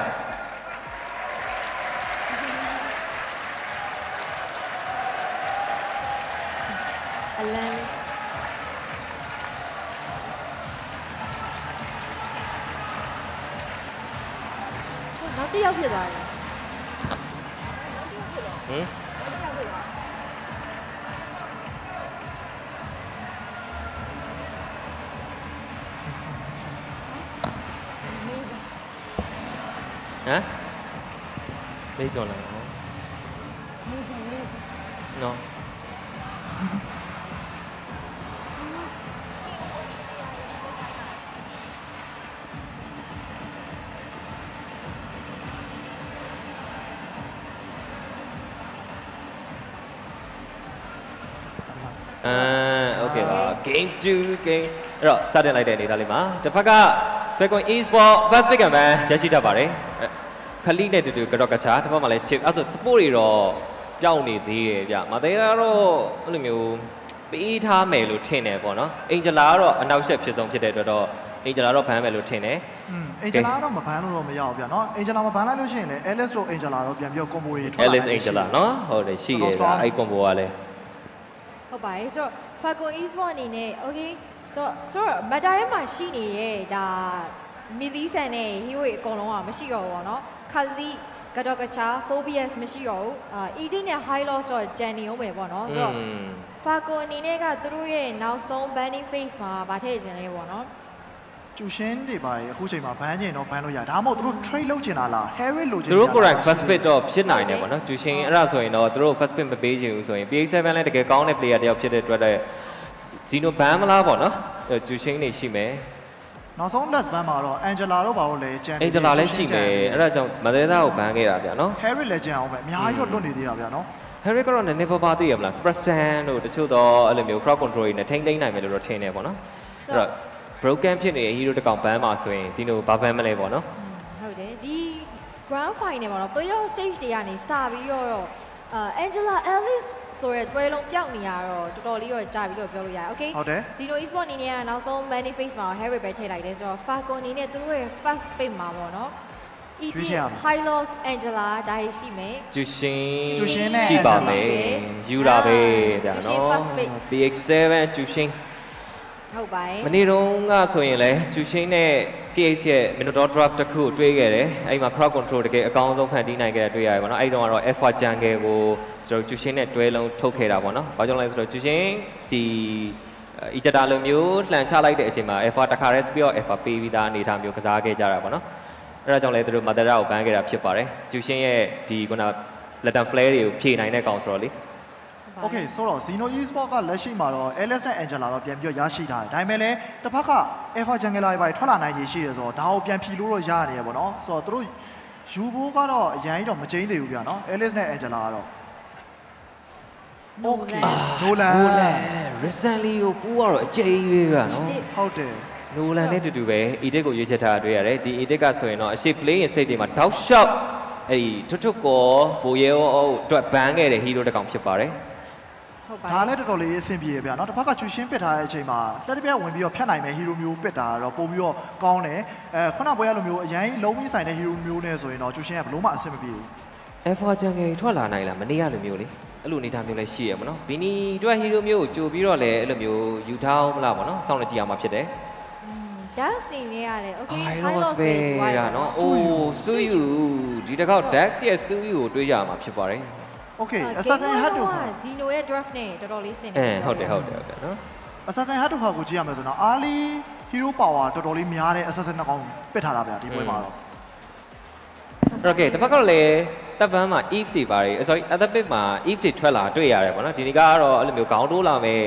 အဲဒီမနိုင်မဲ့ဒီစူးယူကလည်းခေါင်းတိုးလို့ရတဲ့ hero မှာပါတယ်ဆိုတော့ပေါ့နော်ဒါတွေကို take down လုပ်ထားနိုင်တဲ့အဲ tank killer တစ်ကောင်လို့ပြောလို့ရတယ်ပေါ့နော် if က slow fat တွေနဲ့ပြန်ပြီးတော့ထိန်းထားပေးမယ်ပေါ့နော် race အရာဆိုရင်လည်းအဲ့လိုမျိုး mid lane မှာတင် early lane တွေမှာ chess မှာအဲ့လိုမျိုးဒီကျူရှင်းကိုကြိုပြီးတော့အဲ့လို lane freeze လို့ကောင်းတဲ့အထက်မှာပါတယ်ပေါ့နော်ဟုတ်ပါတယ်ဆိုတော့အာဒါကျူရှင်းအနေနဲ့ London Flame နဲ့ Eve ကိုမြောက်လို့မရအောင်ဆိုရင်အနေထားရရှိရပေါ့နော်အဓိက real world manipulation ကနေပြီးတော့ Eve ကိုဘာနဲ့မှအဲ့လောက်ကြီးဆွဲထုတ်ဖို့ကမဖြစ်နိုင်ဘူးပေါ့နော်ဆိုတော့ Zeno Esport အနေနဲ့ကသူတို့ရဲ့ full banning phase မှာတော့ဒါ row uh, sorry goaling ကလပ်ထည့်ထားတယ်ပေါ့နော်ကလပ်ကတော့အဓိကတော့ e ဖြစ် manipulation ဖွင့်တဲ့အချိန်မှာအိမ်မက်ဆိုးကြီးတစ်ခုပေါ့နော်။ဘာကြောင့်လဲဆိုတော့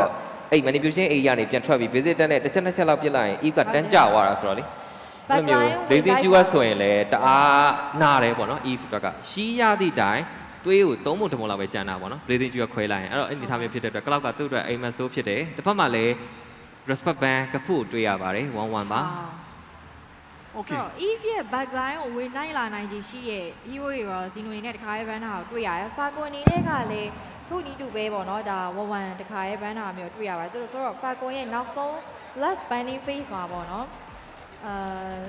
ဘာဘန်ဝါလဲဆို ကဖူ hero တွေပဲ ban သွားမလား ဟုတ်တယ် Roma နဲ့ တလို့စေเนาะဒါထွတ်ထွတ် edit သွားကြိုက်မယ်ဆိုရင် ဘိုရဲအတွက်ဟီးရိုဘန်းနိုင်တာလည်းဖြစ်နိုင်တယ်ဗျာနော်ဘိုရဲတော့မဟုတ်ကကုကိုဘန်းမယ်ပေါ့နော်ဘိုရဲဟီးရိုထဲမှာဆိုတော့ဒီပွဲမှာ grow တွေပါရင်လည်းဘန်းရင်တော့ဘန်းလို့တော့ရတယ် grow ကဒီပွဲကောင်းကောင်းကြီးတိုးပြီးလို့ရမယ်လို့တော့ထင်တယ်ပေါ့နော်ဆိုတော့နောက်ဆုံး banning phase မှာတော့ဇီနိုအနေနဲ့လိုအပ်နေရဲ့ဒါဂိုးလေးကိုပဲဒါဖာကူနီနဲ့ထပ်ပိတ်သွားမလားကြည့်ရမယ်ပေါ့နော်မော့စကော့တွေပါရှိနေနေတာမှာမော့စကော့တွေရောဘန်သွားမလားဒါပေမဲ့ဘန်ရလောက်တဲ့အထိရောမဟုတ်ပေမဲ့အော်ဆက်ကတော့ okay ဘိုရဲ့ hero Kufra ကိုပဲ ban သွားတာတွေ့ရခုပါဖရဘန်းသွားတယ်ဗျာ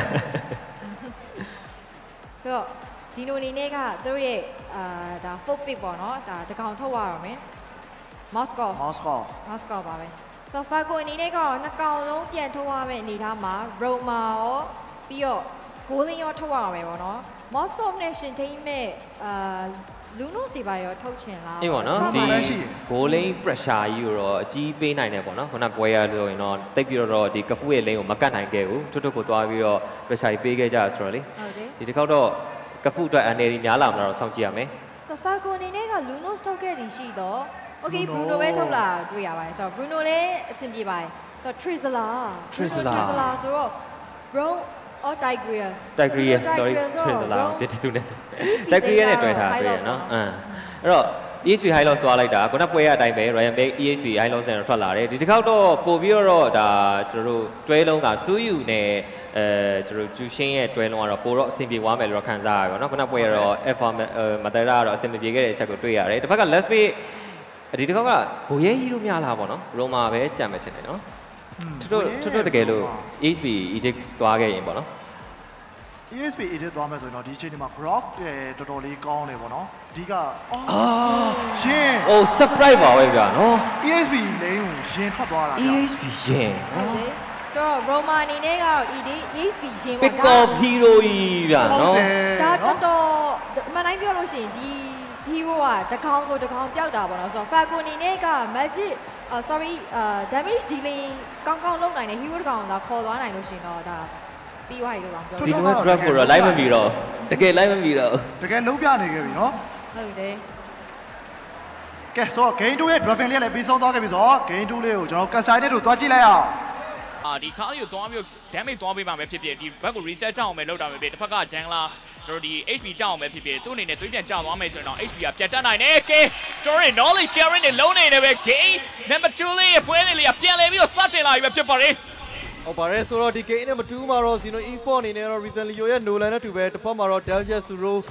တကယ်ကိုအပြိုင်တဲ့ပွဲစဉ်တစ်ပွဲကိုကျွန်တော်ကြည့်ရတော့မယ်ဗျာနော်ဟုတ်ပါပြီကျွန်တော်ခုလောတယ်ရောဒလီယိုအနေနဲ့တော့ကျွန်တော် down shot ပြန်ပြီးတော့ကျွန်တော် rotation အတိုင်းလေးတော့ပုံမှန်ပဲသွားတာတယ်နှစ်သင်းလုံးကတော့ပုံမှန် family အတိုင်းပဲဗျာကျွန်တော် emblem ဘိုင်းမှာတော့ကျွန်တော်ကပူးတနက်စီနဲ့ထွက်လာတယ်တစ်ဖက်မှာ fader နဲ့ဗျာအဲ့တော့ critical damage chance တွေပါတော့ပါတယ်တစ်ဖက်ကကျွန်တော် bini အနေနဲ့ဝေး H emblem တွေထွက်လာပြီနော်။အော်ဟုတ်တယ်နော်ကျွန်တော်ဒါနည်းနည်းလေးတော့စိတ်ဝင်စားဖို့တော့ကောင်းသွားပြီလို့ပြောလို့ရတယ်။ early damage ရလဲ Bruno ကကိုရေကသူ့ရဲ့ damage ကတာပြီးတာဒီ body shot damage တွေကတော့ Moscow ကောင်းကောင်းကြီးဒုက္ခပေးနိုင်တယ်ပေါ့နော်။ အဲ့တော့တစ်ဖက်မှာတော့ဒီသွားပြီးတော့ရိုးရိုးသူ့ရဲ့ trolley နဲ့နောက်မှာ flicker ပြန်ပေးထားတဲ့ F shutter dash သူ့ရဲ့ trolley တော့နဲတယ်ဗျာ KA ပြန်ပြီးတော့ forward လုပ်နေနေပဲနောက်မှာထွတ်ထွတ် follow oh flasher dash ပြန်ပြီးတော့ရှောင်းဝိုင်းတစ်ဖက်မှာလည်း KA flicker ပေးထားတဲ့နောက်မှာထွတ်ထွတ်လိုက်ဆုံးသဖို့ကြိုးစားခြင်းပဲလေဒီနေရာမှာတော့တကယ် spare casting တွေနှစ်သိန်းလုံးကကောင်းတဲ့အတွက်ကြောင့်မလို့ Hero K ကတော့လုံးဝထွက်မလာဘူးဗျကျွန်တော်မင်းမသွားနေတွဲလုံးတွေရောက်တော့ကျွန်တော် Zeno ကလုံးဝကိုအတာပဲဗျကျွန်တော်ခံမှန်းထားခဲ့သလိုတော့မဟုတ်ခဲ့ဘူးကျွန်တော်ထင်တာ Falcon နေနဲ့ Early River တစ်ချောင်းလုံးကပြန်ပြီး control မေလို့ထင်ခဲ့တာလို့ထင်တယ်နော် ဒါပေမဲ့ကျွန်တော် Zeno ရဲ့သူတို့ရဲ့ချိတ်ဆက်မှုတွေသူတို့ player ကြားထဲမှာရှိနေ communication တွေ chemistry တွေဘိုင်းတွေတော့လုံးဝ short တွက်လို့မရအောင်တော့တော်တော်လေးတော့တပတ်မှရှိနေခဲ့တဲ့ Eve နဲ့အတူပဲ Edit ကို mobile နှေးပြီးတော့အလုံးမလုံးနိုင်လာဘူးလို့ထင်ခဲ့ရင်ပဲလေတကယ်တမ်းမှာတော့ဘူရဲနဲ့အတူပဲယိုယိုရဲ့တွဲလုံးကနည်းနည်းလေးပိုဆင်ပြေနေတယ်ဒါပေမဲ့ Turtle တော့ Reason Leo ဝင်ပြီးတော့ join မှုကတော့နည်းနည်းတော့ခက်ခဲနေတဲ့အချိန်တစ်ခုမှာ Fletcher ပြန်ပြီးတော့ပြီးနေနေပဲ First Turtle ကတော့ Reason Leo အနေနဲ့ဝင်လို့ကတော့တော်တော်လေးတော့မလွယ်တော့တဲ့အချိန်တွေဗျာနော် Oh retribution တော့ပြန်တော့ပေါက်သွားတယ် objective က Falcon ရောက်သွားတယ်ဗျဘိုးရဲ့နောက်က Ray ခင်ပြီးတော့ပြန်တော့လိုက်နေပြီ fast flag ကတော့စတင်ဖေးလိုက်ရပြီဘိုးရဲ့နောက်မှာရိုးရိုးနောက်ကပြန်ပြီးတော့လိုက်ထားလို့ P87 နောက်မှာ dash implosion right time ရိုးရိုးတကောင်တော့ထပ်ပြီးတော့ရလိုက်လို့ထွတ်ထွတ်ပပါပြီး Xander Flip မြောက်ပေးထားတယ် Reason Leo ပါပြန်တော့လိုက်နေသေးတယ်ဗျ Hyoke တောက်လျှောက်ပေးထားလို့အထင်းကြီးတော့ပြန်တော့ခေါ်သွားပေမဲ့တူတူပြန်မေးရနေရပြီ Xander Flip မြောက်တဲ့ဂျားထဲမှာတော့ထွတ်ထွတ်တကောင်အဆုံးသက်ခံလိုက်ရတယ်ဗျ ဟာတကယ်ကိုပဲဒါ by one ခေါ်ပြီးတော့မေးရဆိုရင်လည်းမနိုင်ခဲ့ဘူးကြာနော်ကျွန်တော်ပြန်ပြီးတော့ပဲဇူရှင်းဆုံးသက်ပေးသွားတယ် Reason Leo အနေနဲ့ကတော့သူ Family Paradise သွားနေတော့မှဗျအဲ့တော့ဒီ early first starter မှာဆိုလို့ရှိရင်တော့ Falcon အနေနဲ့ကတော့အသာသီးရရှိသွားတဲ့ချိန်နေလို့ပဲကျွန်တော်ပြောရမှာဗျာနော် ကျွန်တော်နားမှာဆိုင်တော့ position ယူတဲ့ဘိုင်းမှာကျွန်တော်တစ်ဖက်က Falcon နဲ့ Trolley fine သွားတယ်အရှင်းမှာ front liner တကောင် zone နဲ့သွားနေတဲ့အချိန်ဒီမှာတစ်ဖက်က PA7 အတွက် Trolley spin 300အဆင်ပြေသွားတယ်ဗျာ Leo အနေနဲ့သွားပြီးတော့ထောက်တဲ့အချိန် position ယူတဲ့ဘိုင်းမှာလည်းကျွန်တော် PA7 Lander Flame နဲ့ရှိနေတဲ့အချိန်ဒီမှာသူရန်တိုးရပြူရတာခက်ခဲသွားတဲ့ပုံစံပဲ first objective က Falcon e-sport အနေနဲ့စတင်ပြီးတော့ပိုင်ဆိုင်ခဲ့ပါတယ် Hyuki 3ကောင်မှာပါတယ်ဗျ ဟုတ်ပါတယ်ဆိုတော့ဒီတော့ကြောင့်မလို့လည်း number 1.3k လောက်ထိတော့တာသွားပြီအဲ့တော့ K အနေနဲ့တော့လက်ရှိချိန်မှာသူ့ရဲ့ဒီ early lane နဲ့ rotation လေးရောစပြီးတော့တွေ့ရဖို့ရှိမှကြည့်ရမယ်နားမှာလည်းသွားပြီးတော့ပဲ implosion သွားပြီးတယ်ဗျာ equip နောက်လျှောက်ကိုတော့ spare တွေပေးနေနောက်မှာတော့ dash ဘိုရဲကိုမှာဆက်ပြီးတော့အဆုံးသတ်တယ်ဆိုတော့ dash က3កောင်ရှိပြီနော် Hand strike ပြီးသွားပြီချက်ချင်းဆိုလို့ KD 3-1အနေထားတစ်ခုမှာအောက်ကပါထပ်ပြီးတော့ game ကိုကြိုးစားနေတော့မယ်ဖြည်းဖြည်းနဲ့ oh by day ထပ်ပြီးတော့ call သွားတယ် Ryan Mick ပြန်ရှောင်ပြထားသေးတယ်ဗျအဲ့ တော့လုံးဝတော့တက်လို့မရဘဲနဲ့ဒီနှကောင်ကြားထဲမှာပဲ2 win 1 gun နဲ့ရာတစ်ခုတော့ Ryan Mick အကောင်းဆုံးပဲပြန်ရှောင်ထားပါသေးတယ်အဓိကတော့ဒီရှင်ရဲ့ my time ကအခုချိန်မှာနည်းနည်းလေး damage နည်းနေသေးတယ်လို့ပြောလို့ရတယ်ပြီးတော့ high low ယူခေါ်တာကြီးကတော့တိတ်မလန်းဟုတ်တင်တယ် remote light ကြီးနဲ့ဆိုတော့ဒါကြီးကနည်းနည်းအဆင်မပြေနိုင်ဘူးဗျတခြားရိုးဆိုလို့ရှိရင်တော့ by way အဆင်ပြေနိုင်တယ်ပေါ့နော်ဟိုဒတ်တီခုတ်တာနော်တွေးတော့လောက်ကိုင်းသွားတယ်ဗျာ ဒန်နဖလင်းတော့အောက်မှာဘင်းညကိုရှိအလွတ်ကြီးခွာနေတာအိုးဟုတ်တယ်ဂိုရှိတော်တော်လေးကိုကြားလိုက်တယ်ဘီနီတော့ကတော့တော်တော်ကောင်းတဲ့ချက်တစ်ခုပဲဒီချိန်မှာတော့သူ့အနေနဲ့200နီးပါးလောက်ထိရောက်သွားဖို့တော့များတယ်ဆိုတော့ second တက်တယ်လဲ Falcon တောက်လျှောက်ကိုပဲလာပြီးတော့အသာသီးရတဲ့ပြေမှာ Rabbuff ကိုပါတောက်လျှောက် pressure ပေးနေနေပဲဒါ second တက်တယ်ထပ်ရဖို့တော့သေချာတလောက်တော့ရှိပါတယ်ဒီတစ်ခေါက် objective ကိုလည်း Falcon Esport ချမ်းမဲ့ပြီးတော့ပိုင်ဆိုင်သွားခဲ့ပြီဗျာ ကျွန်တော်တို့ရှေ့က game number 1မှာ Falcon Esport အားလီ game အနေနဲ့နေနေခဲ့တယ်ဆိုပေမဲ့ကျွန်တော်တို့ game number 2မှာတော့အကောင်းဆုံးပုံစံတွေတော့ဒါပြန်လဲပြီးတော့ချပြနေရမျိုးတွေတွေ့ခဲ့ရတယ်။ network ဘိုင်းမှာလည်း 2.2k ပြန်လဲပြီးတော့တာလာခဲ့ပြီဗျာ rotation gang ကနေအောက်မှာတော့ကျွန်တော်ထွက်ထွက်ကောင်တော့တပိမိနေပြီဆွဲခေါ်ပြီးတော့ကြိုးဆိုင်မှာ kid ace implosion right time ပြန်ပြီးတော့သုံးမိတာနောက်မှာ s stand ပြန်ပြီးတော့ပြီးပေးတာမရှိတွေပဲပြန်တော့ထိုင်တယ် manipulation ကြားမှာပြန်ထောက်နေတယ်ပြန်တော့ခေါ်သွားခဲ့ရပြီတကောင် PA7 back ကတော့ပြန်ပြီးတော့ပေးတော့လို့ကဖူလိုက်တော့တူပေးနေသေးတယ်ကျွတ်ကျွတ်ကိုဘင်းနီပြန်လဲအဆုံးသတ်ပေးလိုက်တယ်ဗျာ ဒီခေါက်မှာလည်းထပ်ပြီးတော့ကြာအိုးနံပါတ် reason ဒီယောဘီနီယိုပြေးပြီးတော့တောင်းသွားပြီမလဲသူကိုယ်တိုင်ပဲပြန်လဲသေဆုံးနေနေတော့ဒီခေါက်မှာတော့ sacrifice တွေတော့အပြန်လဲလုပ်ခဲ့သလို reason လီယိုကြာသွားလီရတော့တော်တော်လေးနှမျောဖို့ကောင်းတယ်ဆိုပေမဲ့ဘီနီယိုတော့သူပြန်တော့ယူခဲ့သေးရဗျတက်စ်ကမပြီးသေးဘူးလိုက်ပြီးတော့ကြိတ်ချင်နေသေးတယ်လုံးဝလီယိုအနေနဲ့ဘယ်လိုင်းကနေ flank လုပ်ပြီးတော့ဒီကောင်ဝိုင်းမျိုးကြိတ်သွားသေးတယ်ကျွန်တော်လိုချင်နေအောင်ကျွန်တော်ဘီနီယိုပဲပေါ့နော်ဘီနီပိုင်းမှာ3 point oh wait dash တကယ်ကောင်းတဲ့ dash ပါပဲဒီနေရာမှာတော့သူ့အနေနဲ့လုံးဝအပိုင်ကိုကျွန်တော်တို့ hero gate တကောင်ပြန်ပြီးတော့ယူပြသွားတယ် hero gate က6កောက်တကောင်နဲ့ network 2 kit လောက်ထိတာသီးရနေပြီဗျ falcon ဒီတစ်ခေါက်မှာလည်းပွဲရတန်ဖို့ကောင်းကောင်းကြီးထိန်းထားပြီးတော့အောင်လဲရဲ့ first star တော့တလုံးလည်းစပြီးတော့ရိုက်ချိုးပြီးတော့ကြိုးစားနေပြီ BNC မှာလည်း item ကတော့ဒါ3900လောက်ထိတော့သွားရှိနေပြီဗျနော်ဟို Haslow ရှောင်းတော့ပြီးသွားပြီသူ Basca Fury ပြန်တင်နေတဲ့ပုံစံပဲတစ်ဖက်ကလည်းကျွန်တော် Quarantine Side D1 နာ Golden Star ပြန်ထောက်မဲ့ပုံစံအောင်လေးတစ်လိမ့်ရလိုက်ပြီနော် Mag Control တစ်ဝက်လောက်ကိုတော့ Falcon Esport အနေနဲ့စလုပ်တော့မယ်ထင်တယ်အောင်လေးယူပြီးသွားပြီတေချာတော့ Mid Tower ကိုပြန်ပြီးတော့ထောက်လောက်တယ်လုံးဝကျွန်တော်ဒီ second line second line Falcon Esport တာနေတဲ့အချိန်မှာလုံးဝ light ဆိုင်မှုတော့ကြိုးစားနေ Kid Ace ထပ်ပြီးတော့ပေးလိုက်ရပြ Fracture Dash ကြီးအောက်မှာပဲအဆုံးသက်ခံလိုက်ရပါတယ်ဒီတစ်ခေါက်မှာလည်းကျွန်တော် K တော့ပြန်ပြီးတော့ပြီးတော့ by one ထပ်မေးပြန်ပြီနော်ဒါမှလည်း Ryan Miji ဖြစ်နေတယ် Ryan Miji ကဟိုင်းတော့သေဖို့ကတော်လေးကတ်တယ်ဗျာအော်နောက်မှလည်းပြန်ပြီးတော့ပေါ်လာသေးတယ်နော် Ryan Miji တစ်ဖက်မှာလည်း P7 Lena Flare တော့ရှော့လိုက်ပြီးတော့သုံးထားသေးတယ်နော်ထွတ်ထွတ်ပြန်ပြီးတော့ကြောက်ရှုံးနေနေပဲ Fago Esport တင် Hero K ခုနှစ်ကောင်ထိကိုတော့ဒီချိန်မှာရရှိနေပါပြီဒီချိန်မှာထွတ်ထွတ်ပေးရမတန်ဘူးနော်ဒါပေမဲ့ဘီနီတော့လုံးဝတော့ပိတ်တော့ပိတ်သွားပြီအဆုံးသက်ခံလိုက်ရတယ်ဗျာကိုကြီးပေးလိုက်ရတော့မတန်ဘူးနော် ဒါကတော့နည်းနည်းလေး minimap control လို့ပဲထင်တယ် minimap awareness ရှိဖို့တော့လိုပြီဗျာဟို laning phase မှာသူတယောက်တည်းဖြစ်နေတဲ့အချိန်မှာတော့အရင်ရှိကိုရောက်နေတာပေါ့နော်အဲ့ဒါကြောင့်မလို့လည်းပေးတော့ပေးလိုက်ရတယ်ဒါပေမဲ့တပြိုင်နက်တည်းမှာလည်း Falcon အနေနဲ့ကလည်းဒီတစ်ခါပေါ်လာခဲ့တဲ့နောက်ဆုံးတက်တွေကိုပါထပ်ပြီးတော့သိမ့်ပိုက်အောင်မယ်ဆိုတော့ Nawa ရတော့လုံးဝတော့မနှိမ့်သေးဘူးဗျာဖြည်းဖြည်းနဲ့သူတို့အနေနဲ့ Mac Control ရဖို့အတွက်တော့ပြန်တော့ကြည့်နေတယ်။အမေကျွန်တော်တို့ဒါ3လောက်ထိကြာသွားတယ်ထွတ်ထွတ်အနေနဲ့အရင်ကြီးတော့မာပေးမလားဆိုရယ်မေးခွန်းကလည်းသူတို့အတွက်ရှိနေပြန်ရောဗျာ။ ကျွန်တော်နောက်5 minute တွေကြာရင်တော့ကျွန်တော် Zeno E4 ကျွန်တော်ကဖူရဲ့ damage တွေလုံးဝထွက်လာဖို့လိုအပ်နေတော့မှန်မယ်။ Run mid ကိုခေါ်မယ်ဆိုတာတခြားတဲ့ကောင်တွေကိုခေါ်ဖို့အတွက်လုံးဝတော့ရမယ်။ဒါပေမဲ့ကျွန်တော်ရှေ့မှာပြောလို့ပဲ Purify နေရှိနေတဲ့အချိန်တွေကသူ့အတွက်လုံးဝကန်ရတာခက်ခဲစေတယ်ပေါ့နော်။ဟုတ်တယ်အဓိကတော့အဲ့လို purify ရှိတာရယ်ပြီးတော့ K အနေနဲ့လည်းတောက်လျှောက်အဲ့လိုမျိုးတစ်ဖက်ကထွတ်ထွတ်ကိုပဲလုံးဝလိုက်ပြီးတော့မှ market ကတ်ထားရဲဆိုတဲ့အချက်တစ်ခုကြောင့်မလို့ထွတ်ထွတ်ကနည်းနည်းလောကကန်ရခက်ခဲနေရယ် dash ကတော့501နဲ့တော်တော်လေးကိုဖတ်နေတဲ့ချိန်တစ်ခုမှရှိရဆိုတော့ဥပမာ sky ပြတာပါမဆိုရင်လည်း stack ကတော်တော်လေးတော့များနေလောက်ပြီဗျ KD 501ဒီတဲ့ ignition တော့ပြန်ပြီးထွက်လိုက်ခုလို့ပြန်ပြီးတော့ပေါ်လိုက် KD အရှာတာ stand ကိုပြန်ပြီးပြီးပေးတာရဗျာချက်ချင်းတို့ပြန်ရှောင်းတော့အောက်လေးတလင်းကဘီနီထုတ်ထားတယ် volley shot ရလုံးဝဘိုးရောပြစ်ကန်နေရစိမ့်ထွက်နေရောပဲပေါ့မဲ့ဘတ်ဖာကြော်သွားပြီ Zeno Esport တချမ်းလောက်ကတော့စပေးနေရရင်တော့ Mac ကဟုတ်တယ်ဒီချိန်မှာတော့တော်တော်လေးတော့ဒီ tower တွေပေးထားတာများတယ်အောင်လဲ second tower တစ်လုံးမှာထပ်ပြီးတော့ပေးလိုက်ရတယ်ဒါပေမဲ့ recently ရောလည်းသူကပတ်ပြီးတော့ fan နေသလိုမျိုးတစ်ဖက်မှာကဖူးနေနေလဲကြားတလောက်ပြန် fan နေသေးရဆိုတော့ ဒီနောက်တော့ 3k လောက်ထိတာနေတဲ့အချိန်မှာ Falcon နေနေကတော့မင်းရဲ့ first tower ပါအခုထပ်ပြီးတော့ try အောင်ပါပါအဝေးတော့ပြင်းထားတယ် just ပြန်ဝင်လာထောက်ဖို့တော့ကြိုးစားရဗျာ make up first down နဲ့သူတို့လိုချင်တဲ့အရာတခုရပြီးသွားရင်တဖြည်းဖြည်းနဲ့ skill ball လုပ်နေတဲ့ပုံစံမျိုးကိုတုံးနေတာပေါ့နော် Falcon Esport now 3k အသာလေးတခုနဲ့တော့နောက်တစ်ထွက်လာမယ့် objective တခုတော့ပြန်လဲပြီးတော့စောင့်သားပါအောင်မယ် Okay ဆိုတော့ဒီချိန်မှာတော့ပွဲရဲ့ tempo လေးကတော့နည်းနည်းလေးမြင့်နေတာတော့ Falcon ပဲပေါ့နော်အသင်းလုံးကတော့နည်းနည်းတော့ပြန်တော့ညင်သွားတယ်ဒီက ဒီ first law ဗျဒီ first law ကိုဒါထပ်ပြီးတော့ Zeno အနေနဲ့ Falcon စီကိုပေးလိုက်ရမယ်ဆိုလို့ရှိရင်တော့သူတို့နေပါနေတဲ့အရာတစ်ခုကနေပြီးတော့ထပ်ပြီးတော့ပို့ပြီးတော့နှိမ့်လာတော့မှာ Reason Leo အနေနဲ့ကတော့သူ၃កောင်နေပါနေကေးထားနိုင်တယ်ဆိုနေမဲ့လည်းသူ့ရဲ့ဒီ blue buff တွေကဒီချိန်မှာစားဖို့ကတော်တော်လေးတော့ခက်ခဲသွားခဲ့ပြီဗျာတစ်ဖက်မှာလည်း ကဖူး permit space ယူရတဲ့ပိုင်းဒီမှာတော်တော်လေးကိုတော့အဆင်မပြေဖြစ်နေတဲ့အနေအထားလေးလည်းတွေ့ရတယ်အဲ့ဒီအချိန်တွေတစ်ခုမှာတော့ဘီနီကောင်းကောင်းမွန်မွန်ဖန်ဖန်ဝင်ရတယ်ဆိုတော့သူ့ရဲ့ item ကပုံများနေတဲ့အချိန်မှာဗဒက်ဆိုင်ဘူးကတော့ဇီနိုမလည်းရင်တော့မလွယ်သေးပါဘူးဒီတော့ကျွန်တော်ကဖူးရဲ့ basic item 3 over ထွက်လာမှပဲရအောင် live ဖြစ်ပေးဖို့အတွက် front line မှာတော့ကျွန်တော် live ဖြစ်ပေးဖို့ရမယ် find the call 1 PH7 Land of Flame တော့ပြန်ပြီးတော့မြောက်ပေးတော့သေးတယ်ခွေးချွတ်ချွတ်ထောက်လို့တော့မရဘူးပြန်ပြီးတော့ပေါ်လာတဲ့အချိန်တခုမှာ Ryan လိုက်ပြီးတော့နေမေးနေတော့မယ်ဒါပေမဲ့အခုချိန်မှာတော့ SK တော့ဖြစ်နေတော့မယ်ဗျ ကဲဆိုတော့ဒီတစ်ခေါက်မှာလည်းထွတ်ထွတ်ရဲ့ ultimate mind time မရှိတော့တဲ့နောက်မှာတော့ပြန်ပြီးတော့ဒီလောကိုကေးဖို့ချိုးစားနေတဲ့ Falcon E4 ဒီဘက်မှာလည်းဝင်လာတဲ့ data တစ်ခုမှာထွတ်ထွတ်ကိုပြန်ပြီးတော့ကာလာသေးရဗျလောတော့တောက်လျှောက်ကိုပဲသူတို့ပြန်ရရမယ်နောက်မှာလည်း dash ရှင်နဲ့ထွတ်ထွတ်ကိုပါအဆုံးသက်ဝိုင်းနောက်မှာ Kafu နောက်မှာပိတ်မိနေပြီဗျဒီဘက်မှာလည်းရိုးရိုးပြန်ပြီးတော့ချီဖို့ချိုးစားနေသေးတဲ့နောက်မှာ Evia Real War manipulation ပြန်ပြီးတော့သုံးထားတဲ့ Kafu hero kit ကောင်ရပါမယ်လေ BD ရဲ့ body shot damage တွေကြားထဲမှာပြန်ချဒီမှာလဲ Reason Leo ပိုင်ဝမ်းနေထားမှာတော့ Oh Evia Quila တကယ်ကိုကောင်းတဲ့အဆုံးသက်ချက်တွေကြားထဲမှာတော့ Reason Leo ပြန်ပြီးတော့ကြာရှုံးသွားခဲ့ပါပြီ Pressure dash နဲ့ light သိမ်းဖို့ကြိုးစားနေပြီအဲ့ပိုင်းနဲ့ကိစ္စရတော်တော်ဆိုးတယ်ဗျာ call light ကြီးကိုပါကျွန်တော်ထပ်မှန်ပြီးတော့ all သွားပြီ KD 701အနေထားတခု objective အနေထားမှာ Falcon e-sport အနေနဲ့ကျွန်တော်နောက်ထပ် minion wave တွေနဲ့ထပ်ပြီးတော့တက်လာပါမယ် manipulation ရှိနေတိုင်းမှာတော့ defense လုပ်ဖို့အတွက် Zeno e-sport အနေနဲ့လုံးလို့တော့ရသေးရပေါ့နော် ဟုတ်တယ်အခုချိန်ထိကတော့အဲ့လိုမျိုးထွတ်ထွတ်ရဲ့ဒီရင်းပစ်က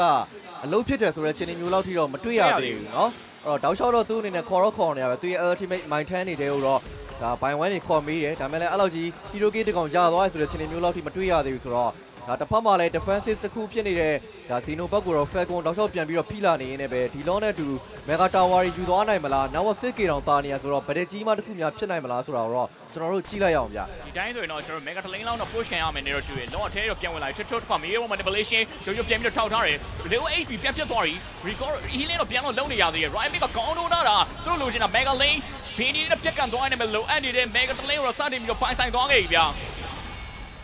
ကဲဆိုတော့ဒီတစ်ခေါက်မှလည်းထပ်ပြီးတော့ Mega Tower တစ်လုံးတော့ Falcon ထပ်ပြီးတော့ယူလာနိုင်တဲ့နောက်မှာနောက်ထပ် Mega Tower တွေပါထပ်ပြီးတော့ try အောင်ပါလား Reason Leo စီမှာတော့ BOD တော့ပါလာပြီနောက်မှလည်းကဖူးအနေနဲ့ Demo Hunter ဆိုတော့ basic item 3ချောင်းတော့သူပြီးွားပုံတော့ရတယ်ဗျာနော်ဒါပေမဲ့တပြိုင်နက်တည်းမှာလည်း Bini အနေနဲ့ကလည်း item ကတော်တော်လေးတော့များဖို့တော့ရှိလိမ့်မယ်အားလေးမှာလည်း goal ရှိနေကြတာဆိုလိုမျိုးနောက်လျှောက် free fire ရတာဆိုတော့လေသူရဲ့ damage တွေကများမှာဗျ ကဲကူလောလည်းနောက်တစ်လိန်ထပ်ပြီးတွန်းလို့ကြိုးလိုက်တွတ်တွတ်ကောင် wine စုကိုကြိုးလိုက်ဂျာနမှာဆွဲတော့ခေါ်သွားပြီ Leo ဒီကောင်နဲ့ Fred တက်ချက်ပေးလိုက် position ကျုံသွားပြီ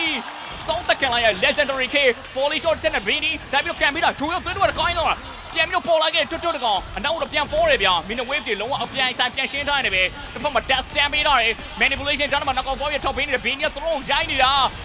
ကာမဲသူတော့မရှိသေးပေမဲ့တစ်ဖက်မှာ minion wave ပါမလာတဲ့အချိန်မှာ Falcon e-sport အနေနဲ့အနောက်ကိုတော့နည်းနည်းပြန်ဆုံးမတော့ရမယ်ဗျာ ဟုတ်တယ်เนาะကျွန်တော်တို့ဒါ3ယောက်5ယောက်ဆိုတဲ့ချင်းတစ်ခုဆိုရင်လည်းတစ်ဖက်မှာတော့ Effect Real Wall လိုမျိုး AoE spell တွေချန်ရှိနေသေးတဲ့ကျွန်တော်ကြောင့်မလို့အရင်ကြီးကောင်းတော့ဘခတ်တယ်ကျန်နေသေးတဲ့နောက်ဆုံးတစ်လုံးနဲ့တော့ပေါ်လိုင်းရဲ့ Mega Tower ကိုတော့ဆက်လက်ပြီးတော့ Falcon E4 ရိုက်ချိုးနေနေပဲဒီချိန်မှာတော့နောက်ဆုံးတစ်လုံးတစ်လုံးပဲကျန်တော့တဲ့ Zeno အကောင်းဆုံး defend နိုင်မလားကျွန်တော်တောက်လျှောက်ကိုပဲပြန်ပြီးတော့ကြည့်ရမယ်ဗျ လုံးဝ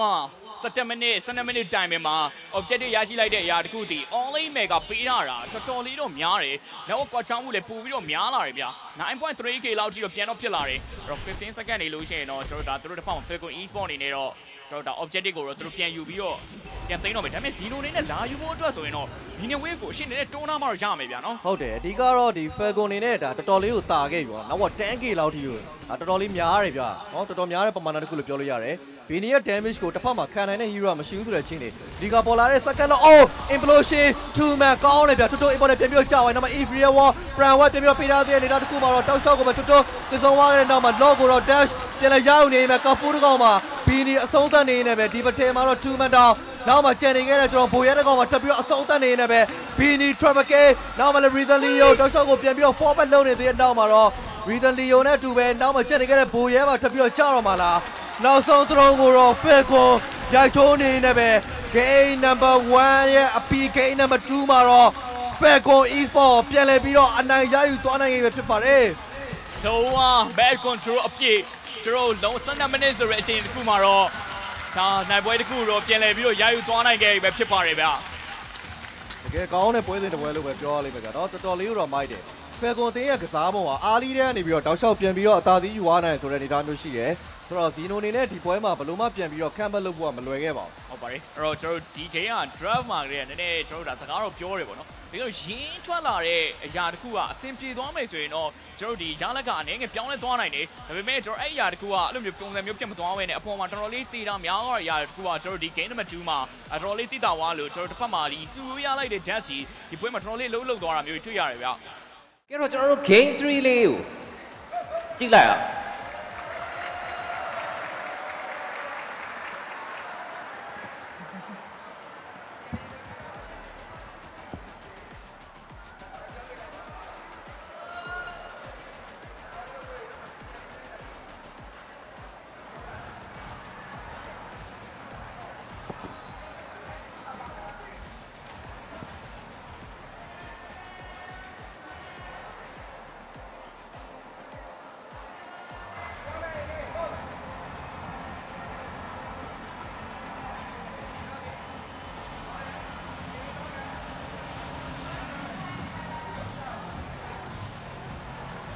ကဲတော့ကျွန်တော်တို့ရဲ့ game 3ပြန်လည်စတင်လိုက်ပါပြီ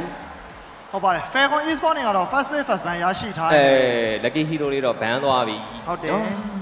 ကျူရှင်းဖန်သွားပါပြီကျူရှင်းဘန်သွားပါပြီဆိုတော့ကျူရှင်မက်တာတဲ့ဝင်နေရရဲ့အဓိကအကြောင်းရင်းကလည်းဒါအက်စတာယာဟီးရိုးတွေဖြစ်တဲ့ဒီလိုမျိုးမီလီဟီးရိုးတွေက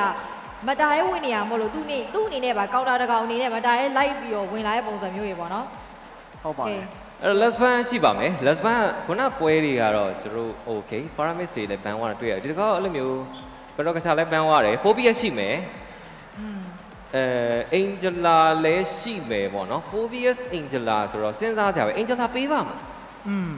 ခုနကပဲရဆိုရင်တော့ Angela ကိုတော့တွက်လိုက်ပါတယ်ရှိရ Okay Phobius ပဲဘန်းသွားမျိုးတော့တွေ့ရပါတယ် Phobius ဘန်းသွားတယ်ဆိုတော့နော် Angela first pick ကအရန်တေးကြတဲ့လောက်ရှိရဲ့အဲ့ဒီ KH ရဲ့ draft ထဲမှာအဲ့လို angela လည်းရှိရဆိုတော့လေ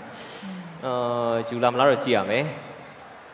သူတို့ဒီလိုမျိုးပေးလိုက်ခြင်းဟာလည်းသူတို့အတွက်ဖြည့်ရှင်းပြီးသားအဖြေလည်းရှိပြီးသားတော့ဖြစ်မှာပါအဲ့တော့ကျွန်တော်တို့စောင့်ကြည့်ရမှာဖြစ်တယ် Harry တွေပါလေ first bit တော့ထုတ်လို့ရတယ်ပေါ့နော် အင်း ဟုတ်တယ် Harry တွေလည်းလွတ်နေရအာ high loss ကိုထပ်ထုတ်အောင်ပါလားလဲကြည့်အောင်ပဲပေါ့နော် Okay ဆိုတော့ Falcon Esport ရဲ့ first bit เนาะ goal line တွေကပဲ ရွေးချယ်သွားဖို့ဖြစ်မလားခုနကတော့လို့ oh ယူတာပဲဗျာနော် angela first pick ပဲ first pick အဲ့တော့ Angela နဲ့တွဲလုံးတွေကတော့အဆုံထွက်လာလိမ့်မယ် Roger တွေရှိမယ်အဲကျွန်တော်တို့ရှိမှဆိုရင် Alice တွေရှိမယ်ပေါ့နော်ဒါတော့မျောလင်းရတာဖြစ်ပါတယ် Okay ဟိုဘက်ကလည်းကျွန်တော်တို့ high loss ဒီ high loss ကဘူရဲ high loss ဖြစ်ဖို့တော့များတယ်ပေါ့နော်ခါလီတွေရမယ်ပေါ့နော် high loss ခါလီတွေရပါမယ်စွယူပဲရွေးချက်သွားခဲ့ပါတယ်နော် Reason Leo ရဲ့စွယူပါ Alice Angela draft တွေပြန်လာမလားလဲကြည့်ရမယ်ပေါ့နော် Angela- Angela သွားခဲ့ Harry လွတ်နေ aggressive Harry ပြီးကိုယူဝိုင်းနေအဲ့ဒါ aggressive combo ကြီးတစ်ခုတော့อืมထားပြီးတော့ထုတ်နေကြနော် Falcon ဘက်က CC Angela ကလည်းတွဲလို့ကောင်းတဲ့ Yes, ကွန်ဘို yes, လို့နော်ပြောလို့ရတယ် Move- ဟုတ် movement တယ် speed လည်းတော်တော်လေးတက်စီရယ်ပေါ့နော်အစိုးရပဲကြွယူသွားတာနော်ဒီဒါဆို high loss ကတော့ Roma သွားဖို့အရန် chance များတယ်တကယ်လို့ EHP ကိုပို့လိုက်ရင်အဲ့ CC ရဲ့ yo-yo place damage တွေနဲ့နည်းနည်းလေးတော့အနေခံရတဲ့အနေအထားမျိုးရှိလာနိုင်တယ်ပေါ့နော်ဝမ်ဝမ်တပ်ပစ်ကိုတော့1 1လေးပဲစောစေးစီးထုတ်ထားတာတွေ့ရဟုတ်တတယ်ယ်ဒါပေမဲ့ 1 1ရဲ့ crossbow အတန်ပွင့်ရင်တော့မှတစ်ဖက်က hero တွေကပြတ်ပါမလားနည်းနည်းလေးတော့စိုးရိမ်စရာလေးတော့ရှိရှတယ်င်နော် Angela Angela လည်း save ပါလိုက်ရင်တော့မဟုတ် plus တဲ့ OS effect လည်းရှိနေရဆိုဟုတ်တော့ တယ်သူပြတ်ပါမလားပေါ့နော်နည်းနည်းတော့စဉ်းစားကြရပဲဒါပေမဲ့1 1ကိုတော့သူ့ရဲ့အကောင်းဆုံးဆိုတဲ့ comfort ဖြစ်ဆုံး hero တွေကြီးပဲရွေးချယ်ထားတာကတော့ညာညင်းလို့မရဘူးပေါ့နော် Zero ဘက်က drop ကဆိုရင်လည်းဆိုတော့ဒါ banning phase ကိုပြန်ရောက်လာရင်နေထားမှာ zero e-sport အနေနဲ့က gas ရဲ့ fan တွေကိုတခါရဲ ban လိုက်တာကိုတွေ့ရပါတယ်ဆိုတော့ ဝဝဂိုးလေးမှာလည်းဝဝလို hero တွေပါဖြစ်နေနေထားမှာ fan အနေနဲ့က AC လေး cut တော့ပိုင်းပြီးကောက်သွားလို့ရတယ်ဆိုတော့တခါရဲ safe pick ပုံစံမျိုးနဲ့ ban လိုက်တာမျိုးတွေ့ရပါတယ်ဟုတ်တယ်အဲ့တော့အဲ့လိုမျိုး assassin jungler ထွက်လာမယ်လို့သူယူဆတယ်ပေါ့နော်ဒီနေရာမှာ lane တွေရှိအောင်မယ် hayabusa တွေတော့ရှိအောင်ပါမယ် dash ကတော့အရန်ကြီးတော့ခုနကျွန်တော်ပြောတဲ့ alice angela တွဲလုံးလဲအဲရှိရင်လည်းရှိလာနိုင်ပြီပေါ့နော်ဒါပေမဲ့လည်းတေချာပြန်တွေးကြည့်ရင် magic damage တွေတော်တော်များနေတော့ထုတ်ပါမလားပေါ့နော် physical damage က CCG ကပဲရနိုင်မယ်အနေအထားမျိုးလေးတော့ရှိတယ်ဗျာနော်ဟုတ်တယ် ထပ်ထွက်လာမှလည်းအဲ့လိုမျိုး EHP လိမ့်တာတစ်ကောင်ပဲရှိရဆိုတော့လေ1 1ထုတ်လိုက်တာတခုကကြတော့တစ်ဖက်က fighter ဒီ jungler တွေမထုတ်စေခြင်းလို့ပဲ1 1နဲ့ပြန်ပြီးတော့ပိတ်ထားတဲ့ပုံစံမျိုးလေးပဲသွားရလားပေါ့နော်ဒါတခုတော့စိတ်ဝင်စားစရာတော့ဖြစ်တယ်ဗျဆိုတော့ Falcon e-sport အနေနဲ့က Angela ကို mid ဆော့လို့ရရယ်ပေါ့နော်ဆိုတော့နောက်ထပ် crowd control Roma hero တစ်ကောင်ထပ်ထုတ်လို့ရအောင်မယ်ပြီးရင် Dax ရဲ့ assassin hero တွေလည်းအများကြီးရှိပါသေးတယ်ဆိုတော့ okay Zeno eSport အနေနဲ့ရော Dutch ရဲ့ assassin hero တွေပဲတည်ပြီးတော့ ban နေရမျိုးတွေ့ရပါอืมတစ်ဖက်ကရော Miss Star တေချာတာတော့ Alice and Alice Alice Angela တော့တေချာတဲ့အနေထားမှာရှိရယ်နော်သူတို့ဘယ်လိုပြန်ဖြေရှင်းမလဲဒါပေမဲ့ဝန်ဝန်တော့သူတို့ကြိုပစ်ထားတဲ့အချက်ကလေးကတော့ကောင်းတယ်လို့ပြောလို့ရတယ်ပေါ့နော်ဒီ Alice ကိုကောင်းကောင်းရှောင်ပြီးတော့ဖြေရှင်းလို့ရမယ်ပေါ့နော်အဲအကြောင်းလဲသူတို့ဒီ assassin နှစ်ကောင် priority ထားပြီးတော့ ban တယ်လို့တော့မြင်ရတယ်ဟုတ်တယ်ဟုတ်တယ်ဟုတ်တယ် ကြတော့ဒီတစ်ခါယိုယိုရဲ့ရွေးချယ်မှုဖြစ်နိုင်ပါတယ် mid lane ကဘာရွေးချယ်မလဲပေါ့နော်ဒီနေရာမှာအဲ့လိုမျိုး CC တို့အဲ့လို backline ကိုအရန်ကိုနှောက်ချက်ခံရမယ်အနေဒါမျိုးဖြစ်တဲ့အချိန်မှာအထိုင် mix သွားရွေးရင်တော့အခက်ခဲတော့ဖြစ်လာနိုင်တယ်ဗျာနော်ဒီမှာ L is အဲ okay Zax Zax ပါနော် ခုန draft ရပြောရမယ်ဆိုရင်တော့မင်းစစ်တာထွက်လာတိုင်းကြီးကတော့တော်တော်လေးများတယ်အဲ့တော့ Falcon Esport ကြိုပြီးပိတ်ထားတာလေတော်တော်လေးကောင်းတယ်ပေါ့နော်ရှေ့ကပွဲတင်မှာဆိုလဲ Zax နဲ့မင်းစစ်တာတွဲသွားတဲ့ combo တစ်ခုလည်းမြင်လိုက်ရတယ် Ling Angela Lin Angela နော် Alice Angela တဲ့ Link Angela ပို့ပြီးတော့အလုပ်ဖြစ်တယ်လို့လည်းပြောလို့ရတယ်ပေါ့ဝမ်ဝမ်ကိုကောင်တာပြီးသားဖြစ်တယ်ဒါပေါ့နော်1 1ဆိုတော့လေသူတို့အနေနဲ့ Alice လိုမျိုးအဲ့လို movement speed ဘိုင်းဆိုင်ရရသူရဲ့ skill 1လေကူတောင်ပြန်ဆောင်နေတဲ့အချိန်မှာ crossbow ပွင့်နိုင်တဲ့အချိန်တွေဖြစ်တဲ့အတွက်တော့အဲ့လို immune ပို့ပြီးပါတဲ့ quality ပိုကောင်းတဲ့ link ကိုရွေးချယ်ခဲ့တာပဲဖြစ်ပါတယ် Link အနေနဲ့ကလည်း Miss Sita ကိုတော်တော်လေးကြောက်ရတယ်လို့ပြောလို့ရတယ်ဒီ King Calling ထဲမှာဆိုရှင် Link အနေနဲ့ဘာမှလုပ်လို့မရဘူး Defiance ဆောက်အောင်ဟုတ်တယ်တာဘီနီဘောကလည်းပြုတ်ကြရဲဒါ ultimate လည်းသုံးလို့မရအောင်ဆိုတော့ကျုပ်ခေါ်ထားလို့ရတယ်ပေါ့နော်ဒါပေမဲ့လေကဲ draw ပေါ့နော်ဆိုတော့ draft အနေနဲ့ကတော်တော်လေးတောက်တောက်တင်းတင်းရှိတဲ့ပုံစံမျိုးတော့တွေ့ရတယ်ပေါ့နော် Link Angela တွဲလုံးမှာမှာ Harry အနေနဲ့က golden late game မှာ penetration damage ပေးနိုင်မယ် power spike တော်တော်လေးကောင်းတဲ့ hero လို့ပြောလို့ရတယ် Link အနေနဲ့ကလည်း mid game လောက်ထိရ power spike ကောင်းတဲ့ hero လို့ပြောလို့ရဟုတတ်ယ်တယ်အဲ့ဒီ grow อ่ะဟို KS ရဲ့အရင်အဲ့လို grow ဂျန်ဂလာဆော့လို့ရတဲ့အခြေအနေမှာတည်းကသူတယောက်တည်းပဲ grow ဂျန်ဂလာဆော့ခဲ့ရတဲ့ဟုတ်တယ် player မျိုးပေါ့နော်ဟိုတစ်ဖက်မှာလည်းချောင်းနေဗျာထိုးထိုးရဲ့ signature ပါဟုတ်ပါတယ်ဆိုတော့တစ်ခါမှလည်း assassin ကြာနေပြီလာနေကကြာနေ link ဆိုတော့ဒီ တခါတည်းပဲထွတ်ထွတ်အနေနဲ့ကခြောင်းကို ESP လိန်ကနေသွားချောင်းကမ်းတဲ့ပုံ EHP စံမျိုးပေါ့နော်နော်အဲ့လိုမျိုးထွက်လာတော့တွေ့ရပါ The Way of the Dragon နဲ့11 crossbow တန်ဖွင့်မဲ့ combo တစ်ခုတော့သူတို့မှရှိတယ်ပေါ့နော်အဲ့ဒီတစ်ခုတော့တော်တော်လေးသတိထားမယ်ဒါပေမဲ့တစ်ဖက်မှာလည်း Grok လို hero မျိုးကလည်း barrier တွေပါလိုက်တောင်းမယ်ဒီ objective battle မှာနှောက်မယ်ဆိုတော့နည်းနည်းလေးတော့သတိတော့ထားရမယ်ဗျอืมကဲကျွန်တော်တို့ရဲ့ Zero Esport versus Falcon Esport ရဲ့ game 3ကိုကက်ဆိုင်နဲ့တူတူကြည့်လိုက်ရအောင်ဗျ ဟုတ်ပါရဲ့ရှေ့မှာတော့နော်တပွဲတပွဲစီအနေပြန်ပြီးတော့အနိုင်ရရှိထားတဲ့ဆိုတဲ့အနေအထားတစ်ခုမှာဒီ game 3ဒီနှစ်သင်းလုံးတော့တကယ်ကိုအရေးကြီးတယ် game 3ရဲ့ဥဆောင်ခွင့်ရရှိသွားခဲ့မယ်ဆိုရင်တော့နောက်ထပ်တပွဲသာထပ်ပြီးအနိုင်ရရှိသွားမှာဆိုတော့ game number 3ကိုဘယ်အသင်းကဆက်လက်ပြီးတော့ဥဆောင်သွားမှာလဲအားလုံးလက်ခုပ်တန်လေးနဲ့စလိုက်ကြရအောင်ဗျ တော့က game number 3D ကျွန်တော်တို့ဒါနောက်ထပ် game တစ်ခုကိုပြန်လည်ပြီးတော့ဥဆောင်ခွင့်ရမယ် game တစ်ခုလည်းဖြစ်တယ်အဲ့အတွက်ကြောင့်မို့နှစ်သင်းလုံးအတွက်အရန်ကိုရေးကြည့်တဲ့အခြေအနေတစ်ခုကိုတော့ကျွန်တော်ပြန်လည်ဖြစ်လာခဲ့ပြီဗျာအဲ့တော့နေကြရကျွန်တော်အောက်မှာ Harry ကကျွန်တော်ဝမ်ဝမ်သွားထောက်လို့တော့ရတယ် Speckers တွေနေ level 1 2လောက်ဆိုရင်တော့ဖြဲလို့တော့ရတယ်ဗျာနော်အာဒီပွဲမှာ TikTok ကချောင်း off ပြန်ဆော့တာပါနော်ဘူရဲနေနေတော့ high loss ဘက်မှာထိုင်ပြီးတော့ပဲအားလေးကနေရစီ live ပြီးဒီ lane ရဲ့ back တွေပါရောတွားပြီးနှောက်ချင်တယ်ဆိုတဲ့သဘောပေါ့နော်ယိုယိုကလည်း zap ဆိုတော့ကြောင့်မစိုးဘူးဗျချောင်းဒီပွဲ damage type တွားတာလေးကိုတော့ကျွန်တော်ပို့ပြီးတော့သဘောကျမိတယ်ဒါပေမဲ့အဲတခုတော့ရှိရပေါ့နော်သူတို့ဒီ Zeno ရဲ့ goal lane လေးကတော့ဒီ Grow ရဲ့ wine champ တွေ lane damage တွေကြားထဲမှာတော့ early fan ကတိတ်တော့မလွယ်တော့ဘူးလို့တော့ခံစားမိတယ်ဗျ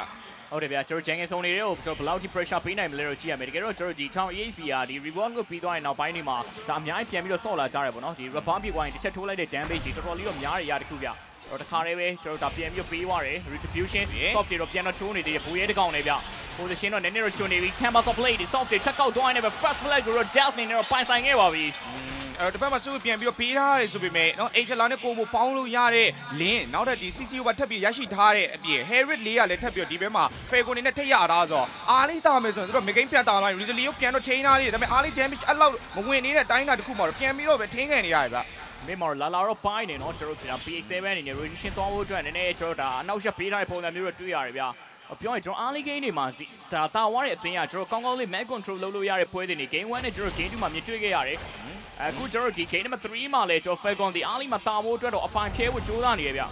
လောဆယ် Rizali 3កောင်လောက်တော့မြန်မာတော့ထိုင်းရ3 vs 3မှာတော့ Hyuki ရဖို့တော့တချို့ကြိုးစားနေသေးတယ်ဗျအဲ့တော့အားလေး game မှာတော့လေဒီ lane ကတစ်ဖက်ကဒီစုယူနေဘိုင်းနဲ့တွားပြီးတော့မေးလို့မရ island လေးရမှသူနည်းနည်းပြန်ချလို့ရဆိုပုံစံမျိုးမှာတော့ရှိတယ်ဗျနော် back time ရှိနေတဲ့အချိန်ဆိုတော့ objective fight တွေမှာတော့ဘောင်းရင်းနေကျွန်တော်ဒီ lane ကအဲ့တစ်ချက်ကိုတော့ဒီထားရမယ်ပေါ့နော်အာတော်တော်များများတော့ fast starter တွေပါရလက်လွတ်တာမျိုးတွေတွေ့ရတယ်ဗျာ cross နဲ့ fast starter တွေပေါ်လာပြီး vision တွေပါလည်းပြန်ထောက်ထားပြီးတာဆိုတော့နည်းနည်းအချိန်တော့ဆွဲပေးထားတဲ့ပုံစံပဲ อืม အဲ့တော့ fan ဒီ fan ဝင်နေတဲ့ဒီ first star တရားစပါတော့လုံးဝမ skip ချင်ဘူးပေါ့နော်သူတို့ပြန်ချခြင်းနေဆိုရဲနေတာတစ်ခုမှာတော့ပြန်ရသွားမယ် recently ပြန်ထွက်လာတယ် bench over angela ပြန်ပြီးတော့ back ပေးထားတယ် the damage time right မဲ့တတ်မရှင်တော့ဘူးဗျ dash တော့ chain ရှင်းနေတယ် retreat တော့ထဲလို့ရအောင်မလား p7 တက်တော့ wide wide chain တော့ပြန်ပြထားတယ် chamber blade damage time dash recently ကိုလေးကိုပြန်ဆုံးသက်ထားတယ်ပဲဒါပေမဲ့ chain နေခဲ့တဲ့ case တကောင်နေတွတ်တွတ် damage ဘွေး damage တွေကြားထဲမှာတော့ပြန်ကျသွားရင်းနဲ့ပဲယိုယိုတကောင်နေနဲ့ဒီပတ်တယ်မှာ3အောင်တီးတီကိုပိုင်ဆိုင်သွားခဲ့ပြီဖြစ်ပါတယ် Triple K ဆိုတဲ့ကြာတော်တော်လေးတော့များတဲ့အကြာတစ်ခုကြာပြောလို့ရှိရင်တော့သွားပြီးတော့ကျွန်တော် spare သွားတောင်းလိုက်တဲ့ကိစ္စတွေစပြီးတော့တို့တို့နည်းနည်းလေးကျွန်တော်ဒါ time ပတ်သွားတယ်ပေါ့နော် PH7 ကိုတို့အားကိုးပြီးတော့ကျွန်တော် Inla CC 12လုံးတစ်ခု set up လုပ်ဖို့ activate လုပ်ဖို့ကြိုးစားခဲ့တယ်ဒါပေမဲ့တကယ်နဲ့ pin နဲ့ damage တွေတော်တော်လေးများသွားတယ်ဗျာအဲ့တော့ကျွန်တော် Hyuki 3ကောင်ဒါပြန်ပြီးတော့ခွင့်ပြုပေးလိုက်ရတယ် ဟုတ်တယ်2 3အနေနဲ့တော့စပြီးတော့ပဲဇီနိုအနေနဲ့ဥဆောင်ထားခဲ့ပြီ1 key လောက်တော့မှသူတို့တာကျင်နေပြီပေါ့နော်နောက်ပိုင်းဒီအားလေး game မှာတော့ပေါ့နော်1 1နည်းနည်းလေးအဲအန်နေများနေဆိုပြီးမှသူပြန်ပြီး damage ထွက်လာတဲ့ချိန်ကျရင်လည်းသူ့တီးဖို့တော်တော်လေးကိုခင်းရင်းသွားမယ်အဲ့ချိန်မှာချောင်း damage တိုက်ဆော့နေတာဆိုတော့ dash တွေပို့ပြီးတော့အန်နေပြန်များသွားမယ်တင်ချောင်း damage ပြန်ထွက်လာရင်ပေါ့နော်ဟုတ်တယ်ခုနကလိုမျိုး objective fight တွေမှာသူ့ရဲ့ aiming target တွေလုံးဝ dash ပဲဒါပေမဲ့ဒီထားမှာဒီ ground ဖြစ်နေတဲ့အတွက်ကြောင့် position တော့ဒီ oh ကျွန်တော်ဒီ objective တွေပါဟိုးအတွက်နည်းနည်းတော့ခက်ခဲလိမ့်မယ် reset ကြလို့အကောင်းဆုံးအနေထားတစ်ခုပေါ့နော်ဒါအပြောင်းနေပြီးမှပဲ spirit cast တွေနဲ့အကုန်တောင်းပေးမှပဲသူဝင်လာကောင်းတဲ့ charge wait ကောင်းလိုက်တဲ့ elbow ပေးလိုက်သုံးလုံးပြပြမျိုး stand နဲ့ tempo blade တွေ soft ပြန်ကောက်ထားမယ် video တကောင်သုံးတဲ့ပြန်မျိုးချိန်ပေးထားတယ် kinetic ကိုပြန်ကောက်ထားတယ်ဗျာ fantasy ပြန်ဖွင့်ထားနေမယ် Ryan May ခနိုင်ကောင်းတွေကျွန်တော်တို့ဒါ you place တွေတော့ပြန်တော့ထောက်ထားပါသေးတယ်อืมဒီတာတယ်လေးကိုတော့ဒီဘက်မှာ fair ကိုနေနဲ့ပြန်ရဖို့တော့ကြိုးကြိုးစားနေသေးတယ်အဲဒီဘက်မှာ jungle မရှိတော့တဲ့တိုင်းတာတခုကိုအခွင့်ကောင်းယူပြီးတော့ retreat ထဲဖို့တော့လုံနေသေးတယ်တစ်ဖက်ကဒီ zap ပြ position တွေဘိုးရဲ့ slow တွေဂျားထဲမှာတော့ fair ကိုဒီလည်းအားလေး objective ကပြန်ယူဖို့တော့ကမလွယ်နေပြန်ဘူးဗျ ဟုတ်တယ်ဗျာကျွန်တော်ဒီ target objective fight နားမှာနေတော်တော်လေးတော့ကျွန်တော်တို့ဒါ position ဟိုရတယ်နည်းနည်းတော့ကြာတော့ကြာနေခဲ့ပြီပေါ့နော်ဟုတ်တယ်ဟုတ်ကဲ position ရတော့ပြန်တော့ထောက်ပါပြီထွတ်ထွတ်ကတွေး HP နည်းနေရနော်ငဲနေတာပြန်ကန်ချင်တာလားအော်ဟိုဘက်မှာတော့ Luis Leo ပြန်ရောက်လာတဲ့တိုင်းတာတခုမှာတော့ first star တဲ့ Zeno ကပဲပြန်ပြီးတော့တိမ့်ပိုက်သွားခဲ့ပြီဗျအဲနောက်မှာတော့ Hannah Swipe ကထွက်ပြီးတော့ထွက်သွားခဲ့ပြီအားလေး game မှာ Hyugi ပြီးထားတယ်ဆိုပေမဲ့တတ်တဲ့ objective မှာတော့လုံးဝမနှိမ့်ပါဘူးဗျတော့မနေပါဘူးကျွန်တော်ဒီ objective နားမှာ position ရအောင်ဟိုးတယ်ကျွန်တော်ထွတ်ထွတ်အနေနဲ့ HP နည်းနည်းလေးဆိုပေမဲ့လေဒါအသင်းပိုင်းဆိုင်ရာကျွန်တော် player ဂျားထဲမှာလုံးဝယုံကြည်မှုတော့အပြည့်ပဲအပေါ်မှာဘူရှိ86 100ကျော်လောက်ကတော့ရလိုက်တယ်ဗျာနော် Ryan Bing အနေနဲ့ရိုင်းမဲအဲ့လိုမျိုးအားလေးထောင်နေတာကတော့ Zeno တို့အတွက်ကတော့ပြောလို့မကောင်းဘူးဘာလို့နောက်ပိုင်း35နောက်တော့ objective တွေကြရင် CC Angela ဆိုတဲ့ combo တစ်ခုက impact အရန်တော့များနိုင်ဒါပေမဲ့လက်တလုံးမှာက high on နဲ့ set နဲ့ထိန်းထားပြီးတာလေတော်တော်ကောင်းနေလို့ချောင်းလဲ damage တိုက်သွားနေရဆိုတော့လေအားလေးမှာအချိန်မရွေးပြန်ချလို့ရတယ်အဲ့အချိန်မှာကာဖူးလိုအပ်နေတဲ့ item ပြန်ရသွားမယ်ဆိုရင်တော့ mid game မှာလေတူတွေကိုတွေပြန်ပြီးတော့ဖြစ်သွားနိုင်တယ်ဗျဟုတ်ပါတယ် dash နဲ့ basket shoot တွေတစ်ချောင်းတော့ပြန်ပြီးထွက်လာပြီဗျာ အဲ့တော့နှစ်သင်းလုံးကဒီ game number 3မှာနည်းနည်းလေးတော့ပြန်ငြိမ်သွားရင် objective fight တွေလောက်ပဲပြန်တီးနေရမျိုးတွေ့ရ goal line နှစ်ကောင်ကြားထဲမှာတော့ network ကွာခြားမှုရှိရတစ်ဖက်မှာတော့ကျွန်တော် Crimson side ပြီးလာလို့ Stallion Sky တော့ပြန်တင်နေရမျိုးတွေတွေ့ရတယ်ဗျာတစ်ဖက်မှာတော့ဟုတ်တယ်ဗျနော်အဲ1 1ကတော့နော်ကျွန်တော် item ရင်ပြီးတော့တော့နည်းနည်းလေး damage ပို့ပေးနိုင်မယ်သူကဖက်နှက်တော့မပါဘူးပေါ့နော်ဒီကတော့ကုံစောကုံစော damage လေးနေပဲ item လေး fan တယ်ဟိုဘက်မှာ B7 နေတယ် OC လေးစပြီးလာပြီ Harry ကလည်း item လေးစရတယ်ကျွန်တော်ပြီးကန်ထားပြီးသူ damage တွေကြားမှာနော် Ray ထပ်ပြီးတော့ pain နဲ့ KH တောက်လျှောက်ကို slow damage တွေကြားမှာ AT တော့ပေးလိုက်ရတယ်ဗျအဲ့တော့ Mega Fast ဘောထပ်ပြီးတော့လိုချင်နေသေးတယ်ဆိုပေမဲ့ Dash Stamp တော့ damage တွေနဲ့ဒီ recently ကိုပြန်ပြီးတော့ဝင်နေသေးတယ်ဟိုဘက်မှာတော့ KH နေနဲ့ immune လေးရသွားလို့ဗျမဟုတ်ရင်အဲ့တော့မှ Yuki ပေးရနိုင်ပါတယ်သေသွားဘူးအဲ့နားမှာ spare တွေသုံးလိုက်ရတယ်ဒါပေမဲ့အပေါ်မှာချောင်းရမြည်ပေးလိုက်ရတာကြီးကနှစ်မျိုးမကောင်းနဲ့တိတ်မတန့်ဘူး Ryan ကိုတယောက်ယောက်ထိန်းသိမ်းမှတော့ရမယ်ဗျာ Ryan Mac ကအားလေးမှလည်းခုနကဂိုးရှိ100ရောထက်ရတာဆို first tower ကထက်ရသွားတော့အပေါ်က Ryan Mac က Rolly အားကောင်းတယ်လက်ပြတယ်လောလောဆယ်ကိုရဲ့ damage တွေကြားမှာ PH7 ပြန်ချသွား Make first tower လည်း Zeno ချက်ချင်းမပြန်ယူရထားနိုင်နေဗျ ဒီနိုဒီလုံးဝ mid tower ကိုတောက်ချက် push နေတာခုနကတော့ကလေးဟာ side lane တွေအကုန်လုံးတော့တစ်ပတ်မှာ traffic ကုန်နေတော့ပြင်းပြထောက်ထားသေးတယ်ဗျာလာနေပြီဟုတ်လိုက်ပြီကျွန်တော်ကြည့်ပေးထားတယ်ဘီနီဒီကောင်နဲ့ပတ်ဝေးခင်းနိုင် smartphone dash ပြန်ထောက်ပေးထားတယ်ဗျာ credit back အနေထားတစ်ခုမှာတော့ SK တော့ပြန်ဖြစ်နေတော့မယ်ဒါပေမဲ့ team fight ကပြန်ဆိုင်မှုအတွက်ဆိုရင်နောက်ထပ် objective လေးပြန်ပေါ်လာတဲ့အရာတစ်ခုနဲ့နည်းတော့စောင့်သားအောင်ဟိုမယ်ဟိုဟိုဟို Ryan Mac ကတော့နော်တောက်ချောက် online ဖြစ်လာပြီလို့ပြောလို့ရတယ် Ryan Mac ကိုတော့ဒီဘက်မှာ Zeno လေးနဲ့ပြန်ထိန်းမှတော့ရမယ်ကဲပေးလိုက်ပြီဒါပေမဲ့ Banjas ဒါပေမဲ့ဒီဘက်မှာ Gate Wine Chan တွေကြားမှာ Ryan Mac မရှင်းဘူးဗျ Recently ကိုသုံးတက်လာပြီး Dash Channel Play နဲ့တော့ပြန်ပြီးဝင်လာတော့ Hero ကပြန်မရနိုင်ပွေရဲတောက်ရဒီဘက်မှာ slow you damage တွေနဲ့ဒီဘက်ကဖူးထပ်ဝင်လာရင်လည်းပဲနောက်တစ်တာတစ်ချိန်ုံလေးပဲ Zeno အနေနဲ့ကပဲထိရအောင်ပဲဗျဒီ okay 3ကောင်ဒီချိန်မှာလက်ထက်မဲ့ပြီးတော့ Falcon ပေးလိုက်ရတယ်ဒါအစင်းနေတော့ကျွန်တော်ဒါဒီချိန်မှာတော့သူ့ရဲ့ family ကို priority ထားနေလို့မယ် objective sign တိုင်း sign တိုင်းမှာတွတ်တွတ်ရဲ့ initiating တွေဒီတကယ်ကိုကျွန်တော်အားကောင်းနေခဲ့တော့အမှန်ပဲဒွေ off တွေကိုဖြစ်ပေါ်လိုက်တဲ့အချိန်မှာ Ryan Mid ပါသွားတယ်အကုန်လုံးဝိုင်းပြီးတော့ရှင်းတယ်ဗျာ ဒီနိုဒီတစ်ခေါက်မှာတော့ network ဘိုင်းမှာတော့2.3.5 KT တောင်တာသွားပြီဟုတ်တယ်ဗျအဓိကတာတဲ့နှစ်ချိန်နဲ့တူအဲ Hugo ကလည်းရှက်ကောင်ကြီးထက်ရတာရဲ့ပြင်တာဝါလည်းနှလုံးထက်ရတာပါတယ်ဗျနော် Make first hour ထက်ရတာတော့ပူကောင်းသွားပါနော်ဒဒီအနေနဲ့ကျွန်တော် white တွေပါတော့ပြန်ပြီးတော့ဝယ်ထားသေးရဗျာ objective fight time fight time မှာကျွန်တော်ဒီ high loss ground tour ကျွန်တော်ဒီ ground tour ရဲ့ကိစ္စတွေမှာအနောက်မှာ zack ရဲ့ monitor တွေကျွန်တော်ဒီ dominant descent တွေတော်တော်ဆိုးတယ်ပေါ့နော်ဝင်လာပြီ dash damage blade တော့ပြန်ချတာ Angela backup ပြချားမယ် recently ကိုသူပြက်ခိုင်းနေနေပဲ dash တဲ့တဖန်တော့ပြန်ပြထားပါသေးတယ်ဗျအဲနောက်မှာတော့ထပ်တော့ line နေသေးတယ်ဘိုးရဲ့ cover တွေဂျားထဲမှာတော့ဝင်လုံးမတော့မလွယ်ဘူးဗျတော့အပေါ်လေးကို push ဖို့ကြိုးစားလိုက်တာပေါ့နော်ကွက်တီပဲနော်ကျွန်တော် angel lane 12လုံးတစ်ခုဟာဒီယိုနေတော့ပြန်ပြီးတော့ပေးလိုက်ရတယ်ဗျအဲ့လိုဒီကောင်ကချင်းဒီကောင်ကချင်းဒီပေးနေရတဲ့အရာတွေဒီနေ့ပြောဖို့မကောင်းဘူးသူတို့တာနေတဲ့အရာလေးဖြည်းဖြည်းချင်းဒီဖဲ့ပေးနေရတယ်လို့ပဲခုနက 3.5k ကနေ 1.7k ကဖူးကဖူးကဖူးဟိုအန်နေများတယ်နော်အဲ့ position က ကာဖော့တဖြည်းဖြည်းနဲ့ damage လေးတွေထွက်လာပြီလို့ပြောလို့ရတယ်အဲ့တော့လက်ရှိမှာတော့ Zeno နဲ့ကာဖူပြန်ပြီး damage ထွက်လာတဲ့တိုင်းတာတစ်ခုမှာတော့5%လုံးဝ9ကောင်လုံးအပြေးဝနဲ့ဗတ်တဲ့ဆိုင်လို့အော်ကာဖူပြေးဝင်နေရတော့ back quest for တဲ့ဒီနောက်မ ready မထပ်ပြီးတော့ဝင်လာတယ် white kiss ပြန်ဆန်းလာပြီး Benny damage တွေဂျိုင်းမှာကာဖူပြန်ကျသွားပြီ dash ပါထပ်ပြီးတော့လိုက်လာရင်းနဲ့နောက်တော့ Hyuki တိမ့်ပိုက်ဖို့တော့ကြိုးစားရဆိုပေမဲ့ Zack ရဲ့ Eddie Fong ကြီးတော်တော်လေးကာပါပေးထားပါတယ်လုံးဝဒဲလိုက်ရတယ်ရမတန်ဝအောင်ဗျာတူတယောက်တည်းခေါင်းထိုးသွားပြီးတော့ကျွန်တော် position တော်တော်ကျုံသွားတယ်တက်တော့ဒီကတော့ဂျမ်နစတန်ပေးတာဘီနီကြားချေ fishing နဲ့ပြန်သုံးထားနေပဲကျွန်တော်ပြန်တော့မေးထားသေးတယ်ဗျာဒီကတော့ကျွန်တော် pop pop နားမှာအကောင်လုံးပြန်ပြီးတော့မောင်းထုတ်ချင်တဲ့အနေထားတစ်ခုဒီကပြန်တော့ပေါင်းထားပြီးဒါပြီးတော့ sign မဲ့အနေထားတစ်ခုဟိုမှာလေးအောင်လောက်ထိရှိရဲလက်ဝဲပြန်ပြီးတော့မောင်းထုတ်ပေးတာပို့ရဲစတော့ကြာတယ်ဗျာဒီလိုနေတော့ပြန် fall လိုက်တာတော့ပိုကောင်းပါလိမ့်မယ်အင်ဂျလာစီစီဆိုတဲ့တွဲလုံးတစ်ခုကိုပေါ့နော်တော်တော်ဒီအချိန်မှာကြော်ဖို့တော့ကတော့ဇီနိုနေနဲ့ခက်ခဲနေလို့ပြောလို့ရတယ်ဗျအခုတော့ကသူတို့တာနေခဲ့တဲ့နဝတ်တီကလည်းတဖြည်းဖြည်းပြန်ပြီးကြောက်သွားတယ်1.2ပဲကျန်မှာတော့တယ်အဲ့တော့ဖဲကွန်ပြန်ပြီးထားလာတဲ့အချိန်တစ်ခုမှာတော့ဇီနိုနေအဲ ခုနလိုမျိုးပေါ့နော်အရန်ခေါင်းအရန်တိုးလို့တော့မရတော့ဘူးဗျပို့ပြီးသေးကြတယ်ဆိုတော့ better set တစ်ခုကိုသူတို့ပြန်ပြီးတိတိကျကျလေးပြန်လောက်ပြမှတော့ရပါမယ်အမှန်ပဲကဖူးနေနဲ့ကျွန်တော်စီးရဲဘက်တော့ပြန်ပြီးတော့ထည့်ထားတယ်ပေါ့နော်ခုနကလိုမျိုးခေါင်းတို့ရဲ့လုံးရက်တွေမလောက်တာတော့ပိုကောင်းလိမ့်ဟုတ်တယ်ဟောရင်ကျွန်တော်သူတယောက်တည်းစောစီးကြောက်သွားလို့ရှိရင်သူ့အတွက်အန်ရတော်တော်များတယ်ဗျာ အဲ့တော့ဒါပေမဲ့ဂျီနိုဘက်မှာတော့လက်ရှိမှာတော့ယိုယိုရဲ့ damage ကအကောင်းဆုံးဆိုတဲ့အနေအထားတစ်ခုမှရှိနေတယ်လို့ထွတ်ထွတ်တီလည်း damage ကပြန်ထွက်လာတယ်ဘိုးရဲတီလည်းအာမလုံးဝမနှိမ့်တာဖြစ်တဲ့အတွက်ကြောင့်မလို့တော့ Falcon ပြန်ပြီးတော့တက်လာအောင်တော့ဗောနော်သူတို့လည်းပြန်ပြီးချလို့ရတဲ့အနေအထားတစ်ခုအခုအချိန်ထိရှိနေပါသေးတယ်တော့ objective ကပေါ်လာခဲ့ပြီးနှစ်သိန်းလုံးအတွက်အရန်အောင်ရေးကြီးတဲ့အနေအထားတစ်ခုတော့ပြန်လည်ပြီးတော့ရောက်သွားပြီဗျာပြောလို့ရှိရင်ကျွန်တော်ဒီလောက်ရရှိထားတဲ့အသင်းဒီ laning phase တွေကိုအများကြီးလုံးလို့ရတယ်ထွတ်ထွတ်က flight pan နေနေတာအခုလုံးနေတယ်မိသွားရင်တော့ပြီးသွားနိုင်တယ်ဗျာနော်ဒီလို fine ရှိနေတိုင်းမှာတော့ view ဆိုင်အောင်မယ် ဟုတ်တယ်အဲ့ပွဲချင်း6မိနစ်တော့စပြီးတော့ပဲဒီ low ကိုလေးကိုတော့ဒီနှစ်တင်းလုံးနေနဲ့စပြီးတော့ထိလို့ထိရင်နေပြီဖေကွန်နေနဲ့လည်းအရန် Yuki နဲနေတာမျိုးမဟုတ်ဘူးသူရဲ့ဒီ wine chance stand နေနောက်မှာ dash ရဲ့ damage တွေကလည်းတစ်ချောက်အသက်ဝင်နေခဲ့သလို Rhyme ကိုယ်တိုင်လည်းတော်တော်လေးမာလာနေပြီဆိုတော့ကြလေအဲ့တော့ဒီ low ဖက်တယ်လေးကတော့တကယ်ကိုတကယ်ကိုကြည့်လို့ကောင်းတော့အမှန်ပဲပြေးခံထားပြီလေ immune လေး Warner မှာဆိုတော့ဒီ grow ကြီးကတော်တော်လေး immune လို့ကောင်းတယ်ဗျဖောင်း nature တကွက်နဲ့ပြန်ထောက်ပေးတာ ultimate တကွက်ကိုတော့သူတို့ပြန်ပြီးတော့ရလိုက်တယ်အဲ့ဒီချက်ကတော်တော်လေး fine သွားတယ် P7 အနေနဲ့တော့ကျွန်တော်အကောင်းဆုံးကျွန်တော် laning phase ကတော့ပြန်တော့ကြောင်းထားတဲ့အနေအထားတစ်ခုပြဒီ long နားမှာလည်းပြန်ဟိုးလို့ပိုကောင်းအောင်မယ်ဒီက grow ပါနေတဲ့အချိန်မှာဟိုဘက်ကပြန်ပြီးတော့ low ပြန်ထုတ်မယ်ဆိုရင်တော့အချင်းချင်း reset ချလို့ကောင်းအောင်နေပေါ့နော်ဟုတ်တယ်ပြီးတော့ဒီနောက်ပိုင်းမှာနော်ဇီနိုနဲ့အရန်တာနေရင်တော့မှဒီဘက်က Falcon နဲ့ပြန်လှုပ်လို့ရတဲ့အရာတွေအများကြီးရှိတယ်ဘာလို့လဲ Lane Angela ပါနေရဆိုတဲ့အနေအထားတစ်ခုမှာ Lane push တဲ့အားတော့ Falcon ဘက်ကတော်တော်လေးကောင်းတယ်လို့တော့ထင်တယ်ပေါ့နော်ဟုတ်တယ်တစ်ဖက်ကလည်းကျွန်တော်ဒီဘူရဲတို့ဘာလို့ counter တဲ့ပုံမှာကျွန်တော်ကဖူးရဲ့ damage ကိုလည်းမေးထားလို့မရဘူးဟုတ် ဒီတယ်လိုတိုင်းဖမ်းနေတာအဲ့ဒါကျွန်တော်လည်း bait နေရတယ်လို့တော့မျော်လင့်နေပေါ့နော်ဘာလို့လဲဆိုတော့ purify ကျွန်တော် timing နေမှာဆိုလို့ရှိရင်တို့အတွက်တော်တော်လေးခက်ခဲလိမ့်မယ်ဗျဟုတ်တယ် team fight မှာတော့လက်တော်မှာတော့ဇီနိုကပိုပြီး impact များနိုင်တယ်ဆိုတဲ့အနေအထားလေးတော့ရှိတယ်ဒါပေမဲ့ပိုရဲအနေငယ်တော့ပြန်တော့ကျွံသွားတယ် Rhyme damage တွေဂျားမှာတော့တဝက်လောက်တော့ပြန်ချသွားတယ်ဗျလုံးဝဒီနောက်မှာတော့ကျွန်တော်နှစ်သင်းလုံးအနေနဲ့အမှားမခံတဲ့အရာတကူ laning phase ကိုပြန်ပြီးတော့ကြောင်းနေကျွန်တော် position ပြန်ဟိုးတယ် ဒီ objective နားမှာဟိုးနေရတော့တော်တော်လေးတော့ကြာနေခဲ့ပြီပဲပြောမယ်ဗျကျွန်တော် main wave တွေပါရေကျွန်တော် position ကွက်တီလောက်ဒါအနေထားရပြီးမှ battle spell တွေကျွန်တော်အကုန်လုံး ultimate တွေရပြီးမှပြန်ဆိုင်မဲ့ data တခုဗျအဲ့တော့ဒီနှစ်တင်းလုံးအနေနဲ့ဒီ game number 3ရဲ့ဥဆောင်ဝင်ကိုတိတိကျကျလေးရယူခြင်းနဲ့အဲ့တော့ကြောင့်မလို့ဒီလက်ရှိဒီ17 minute ဆိုတဲ့တိုင်းတာတစ်ခုမှာပေါ်နေခဲ့တဲ့ objective နားမှာတော့ရောင်းလဲလဲလုတ်ပြီးတော့ပဲဘယ်သူမှားမလဲပေါ့နော် မှားတဲ့တင်းကိုပဲတခါလေးတန်းပြီးတီးမယ်ဆိုတဲ့ပုံစံမျိုးပြနော်ဗတဲ့စားဖို့အတွက်နှစ်တင်းလုံးနဲ့တော်တော်လေးကိုခက်ခဲနေပါတယ်ဟုတ်တယ်လုံးဝမဖွင့်တော့မဖွင့်သေးဝင်းရောနေချာနော်ကျွန်တော်ပါလာခဲ့ပြီနည်းနည်းတက်ဖို့ပြတ်ဖို့တော့ပြန်ပြီးတော့ခက်ခဲသွားအောင်မယ်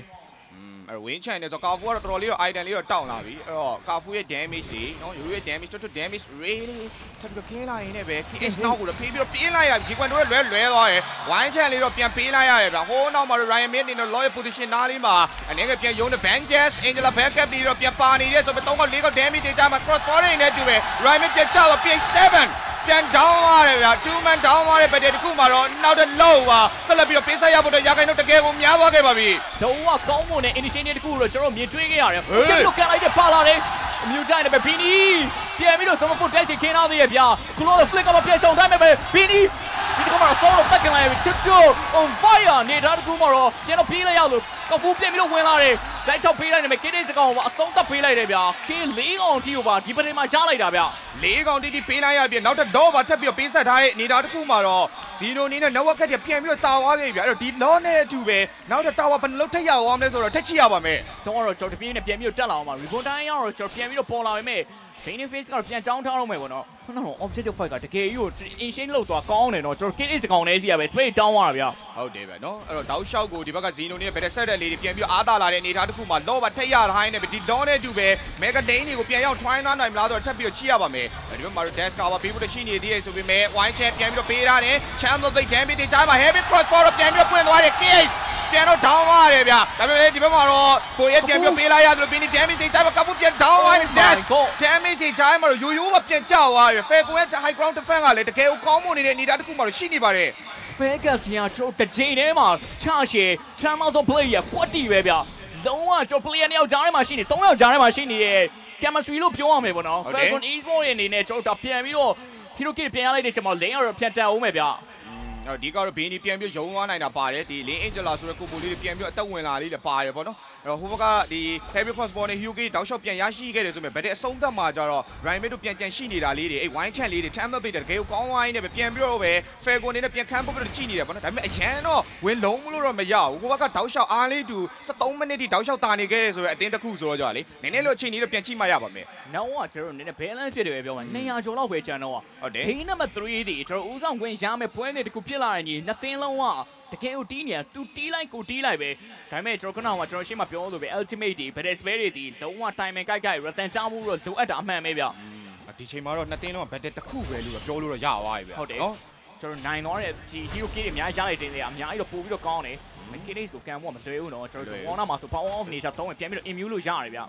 တော့ကာဖူးတောက်လျှောက်ပြန်ပြီးတော့ပြက်လာတဲ့ damage ကလည်းတော်တော်လေးတော့ကောင်းလာပြီဗျဒါပေမဲ့ဒီဘက်မှာတော့ဘင်းနီနဲ့အဲ့လိုမျိုးဝင်အရင်တိုးလို့တော့မရဘူးဗျနော်ဟိုမှာသူ့စီကိုခေါင်းတိုးလာမယ် spare တွေအများကြီးရှိတာဆိုတော့ကြာဒါပေမဲ့ဘင်းနီပြန်ပြီးတော့ချတဲ့ damage ကလည်းတော်တော်လေးတော့ကောင်းတယ်ဒါပေမဲ့ခုနကတော့ဒီထွတ်ထွတ်ရဲ့ damage ပြန်ထွက်လာတဲ့ time တစ်ခုမှာတော့ဘင်းနီလည်းလောကကန်ရတော့နည်းနည်းခက်ခဲနေပဲကျွန်တော်ရှေ့အားလေးကနေကစားကျွန်တော်ပြောခဲ့ပါတယ်ချောင်း damage ထွက်လာရင်တော့ hero ကနည်းနည်းလေးတော့ခက်ခဲသွားနိုင်နေဆိုတာလीနော်ဒါပေမဲ့တစ်ဖက်မှာဘီနီလေး damage ထွက်နေပြီခုနကတော့ကျွန်တော်ထွတ်ထွတ်ကိုနှစ်ချက်လောက်ထုလိုက်တာသွေးတော်တော်ကိုင်းသွားတယ်အဲ့ရတခုလေဇီနိုဘက်ကပြန်တတိထားအောင်မယ် initial initiating လုပ်တဲ့ဘိုင်းတွေမှာကျွန်တော်ခေါင်းထိုးပြီးအကန်လို့ကောင်းမယ်မယ်ကျွန်တော်ဘီနီဒီဒီချိန်တွေမှာ item mass ကိုတကွက်ပဲချန်လို့ဗျာ divine holy crystal တွေပြန်ပါလာခဲ့ပြီ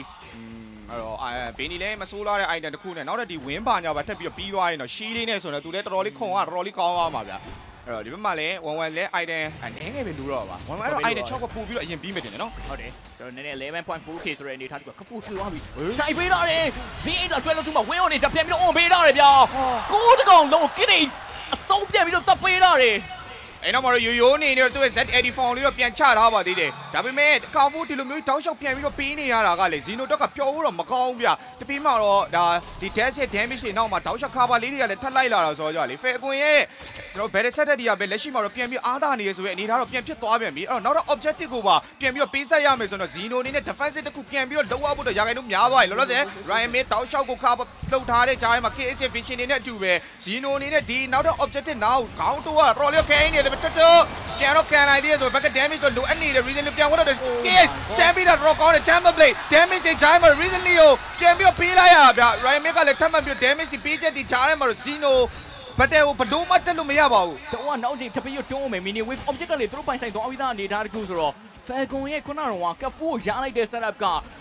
အချိုးကျေးဇူးတွေအများကြီးရောက်သွားတယ်อืมဟုတ်တယ်အဲကြောင့်မလို့ပဲလော်လည်းထက်ရသွားတဲ့အပြင်အဲတစ်ဖက်ကပြန်ပြီးတက်လာတဲ့အချိန်ဒီမှာလည်းတောက်လျှောက်ကိုဒီဘက်က Fago Esport အနေနဲ့ထိန်းထားနိုင်ခဲ့ဆိုတော့ကဲနောက်တဲ့ objective တစ်ချိန်ကိုတော့ပြန်ပြီးတော့ရရှိသွားခဲ့တဲ့ Fago Esport ဒီ game number 3ကိုပြန်ပြီးဥဆောင်သွားတော့မှလားဆိုတော့တစ်ချက်ကြည့်ရမယ်ဗျဟောပါရေကျွန်တော်ပွဲချိန်16မိနစ်ကျော်လာတဲ့အချိန်တွေဒီကျွန်တော် gate PI လောက်လို့ရှိရင် report time တွေတော်တော်များများများလာတော့မှာဗျအဲ့ တော့ကျွန်တော်ဒီတစ်ခေါက်တက်လာမယ် objective ကလည်းကျွန်တော်ပြေးရိုက်မယ်အနေထားတစ်ခုရှိရဘလန်ဝင်းပါလာပြီဟုတ်တယ်အဲ့တော့ Benny Win လေးပါထပ်ပြီးတော့ပြီးလာပြီပြီးတော့ Dash ကလည်း604နဲ့တခါမှမသေးသေးဘူးဆိုတော့ damage ကတကယ်ကိုများနေပြီဗျအဲ့တော့ဒီ timing တစ်ခုနဲ့တော့ Fago Esport အများကြီးဖိသွားလို့ရတယ်နောက်ဝက်ချက်ချက်ချင်းကြီး fight ကြီးကြော်ကြီးတန်းသွားပါဗျအဲ့တော့မလို့ဒီ long နဲ့တူပဲ tension နေကြတဲ့ဘက်က lane တွေကိုထပ်ယူဖို့တော်တော်ကြိုးစားတွတ်တွတ်နည်းနည်းလေးပြန်ပြီးကျုံသွားတယ် Dash damage တွေကြားထဲမှာ Benny လေးပဲပြန်ပြီးတော့ဆုံးသက်ပေးလိုက်ရင်တွတ်တွတ်တကောင်တော့ကြာသွားပြီဗျ 4v5 ဖြစ်နေတဲ့အတိုင်းတာတကူဆက်လက်ပြီးတော့ခွင်ကောင်းယူရင်းနဲ့ပဲ Fago Esport ထပ်ပြီးတော့တက်လာရင်းနဲ့ပဲဘိုးရဲကိုတောင်းလျှောက်ကို slow damage တွေထပ်ပြီးတော့ပေးထားတယ်နောက်ဆုံး drone ကိုထပ်မှန်ပြီးတော့ချိုးဖို့အတွက်ထပ်ပြီးတော့ချိုးတော့ကြိုးစားနေရဲဆိုပေမဲ့တစ်ဖက်မှာ Zeno အနေနဲ့လည်းအကောင်းဆုံး defensive တစ်ခုကိုတော့ပြန်ပြီးတော့ပြတ်တတ်ထားနိုင်ပါသေးတယ်တော့ TV နဲ့ပြန်ပြီးတင်းလာရေးပြန်ပြီးတော့ခင်းလာတယ်ဘိုးရဲ့ပြန်ပြီးတော့ဝင်လာဖို့ကြိုးစားတယ်ဗျာ minion wave ကကျွန်တော်တဝင်ချင်းဝင်လာတဲ့အချိန်တွေတခုဆိုတော့တစ်ဖက်ကကျွန်တော် Zeno နေနဲ့အကောင်းဆုံးတော့ defender တခုတော့ပြတ်သားနေတော့မယ်ဒီ objective နဲ့တော့ mega တွေတော့ပြန်ပြီးတော့ရလိုက်တယ်ဒီအချိန်မှာ lane ပြန် freeze တော့နေတော့တူပါတယ် အဲ့တော့ဒီဘက်မှာ Fago Esport အနေနဲ့တော့ law နဲ့အတူတော့เนาะကျွန်တော် mega နှစ် lane လောက်တော့ထည့်ရလိုက်တယ်နောက်ပဲနောက်ဆုံးသရုံးညိုထက်ချိုးဖို့တော့ကတော့မဖြစ်နိုင်သေးဘူးဗျအဲသူတို့လည်းပူပြတေးကြတဲ့ဘက်တဲ့တခုပြန်စောင့်ဖို့တော့လိုအပ်တယ် island တွေကတော့တော်တော်များများเนาะ19မိနစ်ဆိုတဲ့အတိုင်းတာတခုမှာတော့အကုန်လုံးတော့ပြီးကုန်ပြီအဲ့လိုပဲအားလေးမှာတောက်လျှောက်တာနေခဲ့တဲ့ Zeno တီးတဲ့ island လေးတွေပြန်ပြီးနေမယ်လို့တော့မျှော်လင့်ပါတယ် operator winner ground trap သွားတဲ့အချိန်မှာ P7 အတွက်အကောင်းဆုံးတော့ပြန်ပြီးတော့ save တော့ဖြစ်သွားနိုင်နေဗျအဲ့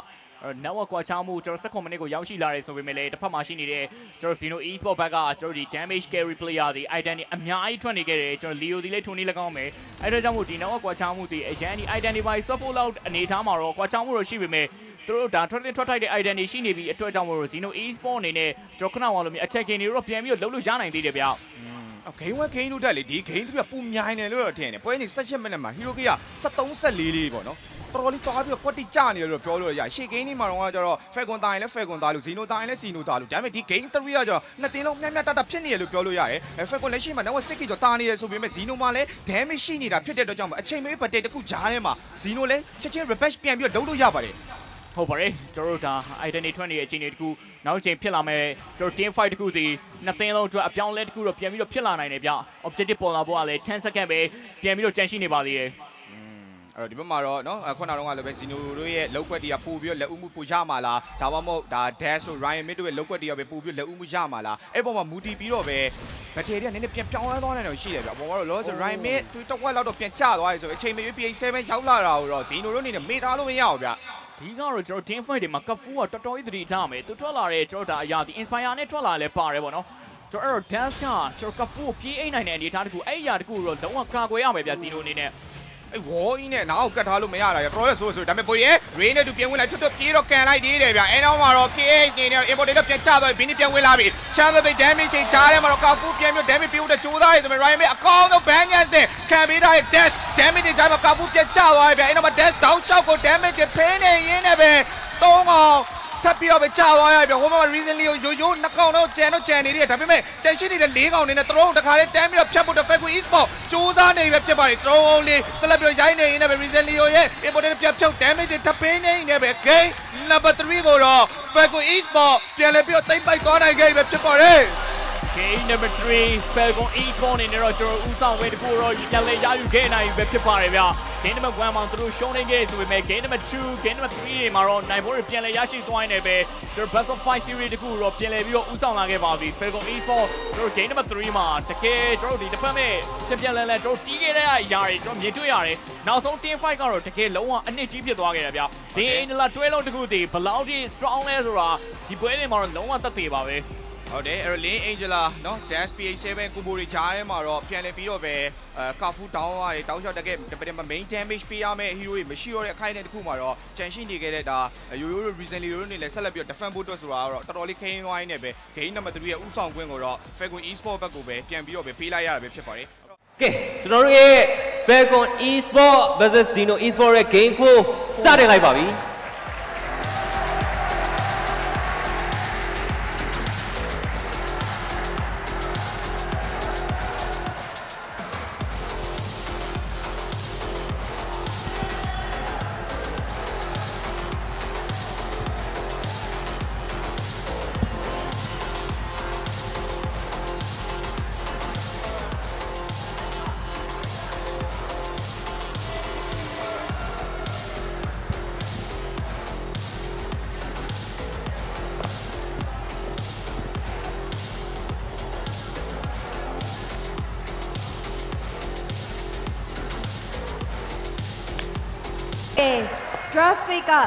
ဆိုတော့ဒါ first pick first ban မှာတော့ဒါ Falcon နေနဲ့ကတော့ Kali ကတော့ကချာဒါရိုဘန်နာရဲ့တစ်ဖက်မှာလည်း Zeno နေနဲ့ကတော့ကျူရှင်း chip ကျူရှင်ချစ်ပေါ့နော်ဟုတ်ခုပါနကတော့လက်ကုပ်တန်တွေအရဆိုရင်လည်း50 50လောက်ကိုတော့အရင်ပွဲတွေတက်တော့ပိုရောက်သွားတယ်လို့တော့ခံစားရတယ်ပေါ့နော်တဝက်စီတော့ကြားခဲ့ရတာမြင်တွေ့ရတယ်အဲ့တော့ပြိတ္တအဲရိတ်တဲ့အားပေးမှုတခဲနဲ့အားပေးမှုအောက်မှာဒီတင်းတဲ့တင်းဘယ်လောက်ထိရင်ဆိုင်ကြော်ဖြတ်သွားမလဲကျွန်တော်တို့ game phone နဲ့တူတူကြည့်လိုက်မယ်ဟို last last fan လေးတွေတော့ကြံနေပါတယ်တစ်ဖက်စီမှာဆိုရင် 4PS တွေရှိမယ်ကျွန်တော်တို့ခုနပွဲရဆိုရင်လည်း Angela နဲ့ Mathera တွေရှိပါမယ်ဆိုတော့ Falcon ရဲ့တပ်ပန်းမှာကတော့သူတို့ကိုယ်တိုင်တော့ Angela တွေဘာလို့တော့မပန်းလာအောင်ဆိုတော့ Mathera မဲ့သူတို့ရွေးချယ်သွားတယ်နော်လက်ကောင်စလုံးပန်းသွားတယ်နော်အဲ့တော့ first pick ကအဲကျူရှင်းလန်ပန်းထားတယ်ဆိုတော့ phobias ပေါ့နော် Phobias လို့ဒီဘက်ကတော့ make to make တော့မဟုတ်ဘူးဗျဒီမှန်တော့ Falcon ဘက်ကတော့ပြရမှာပေါ့နော်အဲ့တော့ Falcon ဘက်က first pick အဲ့လိုမျိုး high loss တွေ phobias တွေတော့ထွက်လာတာရှိနိုင်တယ် okay phobias first pick ပါဆိုတော့တစ်ဖက်မှာဒါ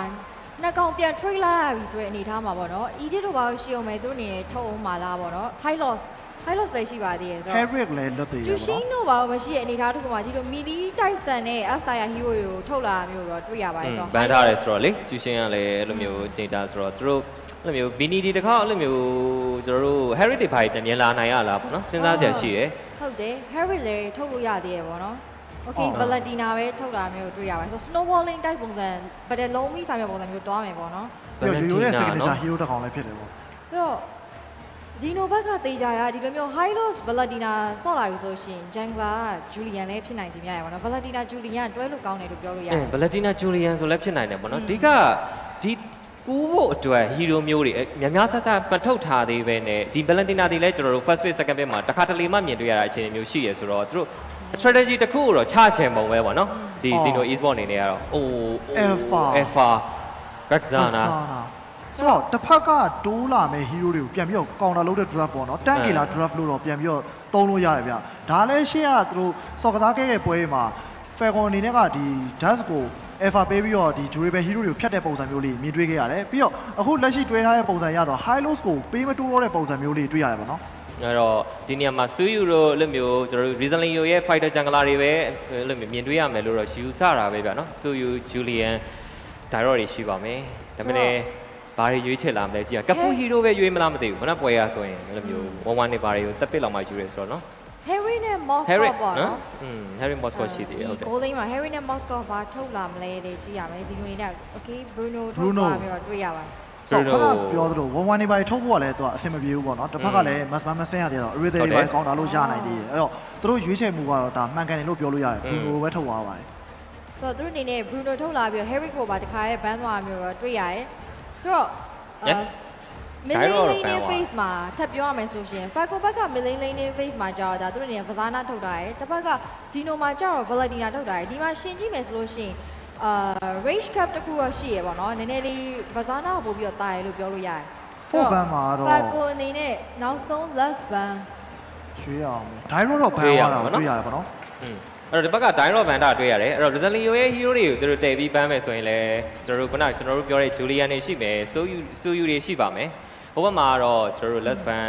mass ban ရွေးချက်ထားတွေ့ရတယ်ဟုပေါ့တ်နော်ပါတယ်အဲ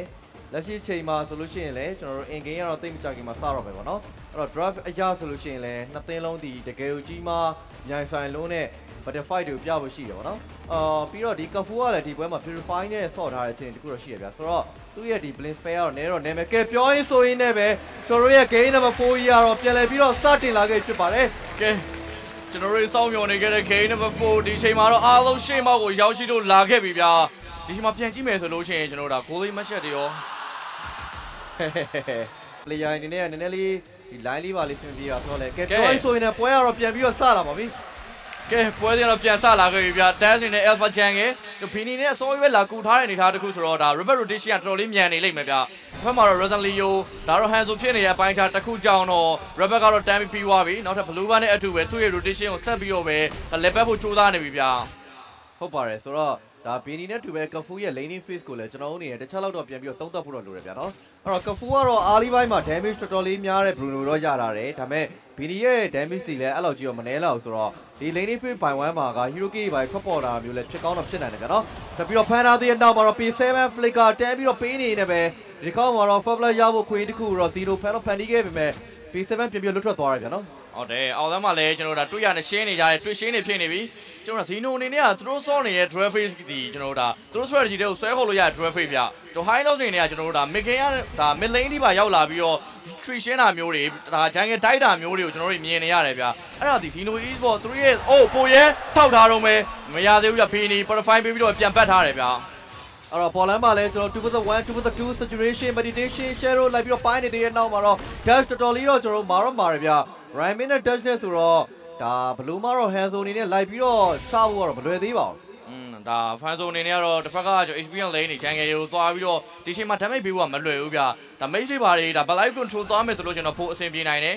ပြောမှလည်းရိုးရိုးအနေနဲ့တော့ ultimate မပွင့်သေးဘူးဆိုတဲ့အနေအထားတစ်ခုမှာသူ့ရဲ့ rotation ဘယ်လိုဆက်သွားမလဲပြန်ကြည့်ရမယ်ဗျ goal lane match မှာဆိုရင်တော့ဒါ KDS အနေနဲ့လာထောက်ပေးသလိုဘိုရဲအနေနဲ့လာထောက်ပေးနေတဲ့အနေအထားတစ်ခုဆိုတော့ goal lane ကတော့နှစ်ဖက်လုံးမှာ occasion နေပါပဲဒါပေမဲ့ကျွန်တော်တို့တွေအောင် side ကြည့်ရမယ် target fight ကတော့အခုချိန်မှာရောက်လာပြီဗျ ကဲဆိုတော့ဒီတစ်ခေါက်မှာလည်း first to the fight မှာဘယ်သူကများတက်တယ်ကိုရောက်သွားမယ်ဆိုတော့ကြည့်အောင်တကယ်တော့ပြီးတော့မဲ့နောက်မှာဘိုးရဲသူရဲ့ revenge ရတော့ပြတ်သွားရတော့ရှေ့မှာ dominant force ကို right မဲ့တော့ချက်လိုက်ပြီးတော့ပြည့်နောက်မှာ Breather Leo သူရဲ့တော်လေးတော့နေနေနေပဲဒီတစ်ခေါက်မှာတော့တက်တယ် revision ပေါက်ဖို့ဆိုတော့တော်တော်လေးတော့ခက်ခဲသွားခဲ့ပါပြီဟုတ်တယ် Rosalio သူ့ရဲ့ meditation ပြီးသွားတဲ့အချိန်တစ်ခုမှာတော့ dance နေတဲ့ target ကိုတော့အပိုင်သိမ်းသွားခဲ့ပြီဗျ။ထောမှာတော့ Zeno Esport first target ကိုလက်လွတ်လိုက်ရတာနဲ့အတူပဲသူတို့အနေနဲ့ off ပြန်ဆော့ပြီးတော့လိုအပ်နေပြီဗျ။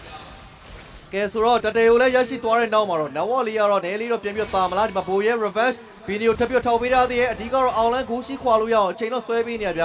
ဘီနီစိုက်ကလိုင်းမှာနေပြီးတော့အမြန်ဆုံးပြန်ပြီးလာခဲ့ပြီလဲကဖူးကဂိုးရှိတဝက်ကျော်ကျော်လောက်ကိုရနေနေပဲ has claw တော့ပြီးသွားပြီဗျอืมဒါ HPN လေးမှာပြန်ကြည့်မယ်ဆိုရင်တော့ဒီ HPN hero နှစ်ကောင်လုံးက durability အများများတယ်ပြီးတော့ healing လည်းပါနေတဲ့အနေထားတစ်ခုဆိုတော့သူတို့အနေနဲ့တယောက်နဲ့တယောက်ဖြတ်ဖို့ကလွယ်မှာမဟုတ်ဘူးဗျနှစ်သိန်းလုံးကတော့အဲ့လိုမျိုး HPN လေးမှာ Christian ကိုလောက်ပဲစောကြမယ် လောဆယ်မှာတော့ဘူရဲနောက်ကတော့အသာလေးပြန်ပတ်ဖို့လိုနေပြီဗျ KDH ဦးဆောင်လာပြီးတော့ပဲ River Control Falcon Esport ပြန်ယူထားပါသေးတယ်ကဲ Rizalio ကင်ဂျစုထပ်ပြီးတော့သုံးထားသေးရဲ့အောက်မှာလည်းဘီနီတောက်လျှောက်ကိုပြန်ပြီး crew ကိုရှင်းနေရဆိုတော့ဘာမှတော့ထိတွေ့မှုတော့မရှိဘူးဗျဒါပေမဲ့ goal line ကိုတော့ first တက်တဲ့အပီ second တက်တဲ့ပေါ်ကာဒီမှာတော့စပြီးတော့ကန်းလာရင်တော့မဘီနီအောင်လမ်းမှာလည်း goal ရှိကိုတော့ပြန်ပြီးတော့ကြားသလောက်လေးခွာနေတဲ့အချိန်တခုတော့တွေ့ရပါတယ်အဲ့မှာ purify နဲ့တူပဲဘိုးရဲ travel ကျလိုက်ပြင်မဲ့လည်းဘီနီပြန်ပြီးတော့ရှောင်ပြသွားတယ်ဗျ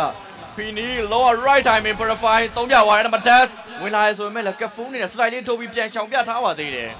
အဲ့တော့ဒီတစ်ခေါက်မှာတော့ကဖူးစီမှာ purify ရှိနေသေးတယ်ဆိုတော့ကေထောင်းပြီးတော့ဖမ်းဖို့ကတော့ရိုင်းတော့လွဲပါမလားဒါပေမဲ့၃ယောက်၂ယောက်နေတာတခုမှာတော့ကဖူးနောက်မှာရှိနေခဲ့တဲ့ dash ကိုတွားပြီးတော့ကြည့်ရမှာလို့တော့ဝင်လာတယ်ဗျနောက်မှာလည်းကဖူး purify လုံးဝတော့မပေးသေးဘူးဒါပေမဲ့လိုချင်နေတာကဖူးဆိုတာတက်ဘီနီရဲ့ဂိုးရှိပါဂျိုယိုအိုးတောက်လျှောက်တော့ဝင်လာနေတော့မယ် Fury Flicker ပြစ်ထုံလိုက်တယ်ကဖူးပြစ်ခွဲဖို့ကြိုးစားနေအောင်မဗျာအဲ့ဒါမှတော့ရရှိသွားပြီ dash ကို တွန်းမှလည်းဖေကွန်ပြေးရတာ PH7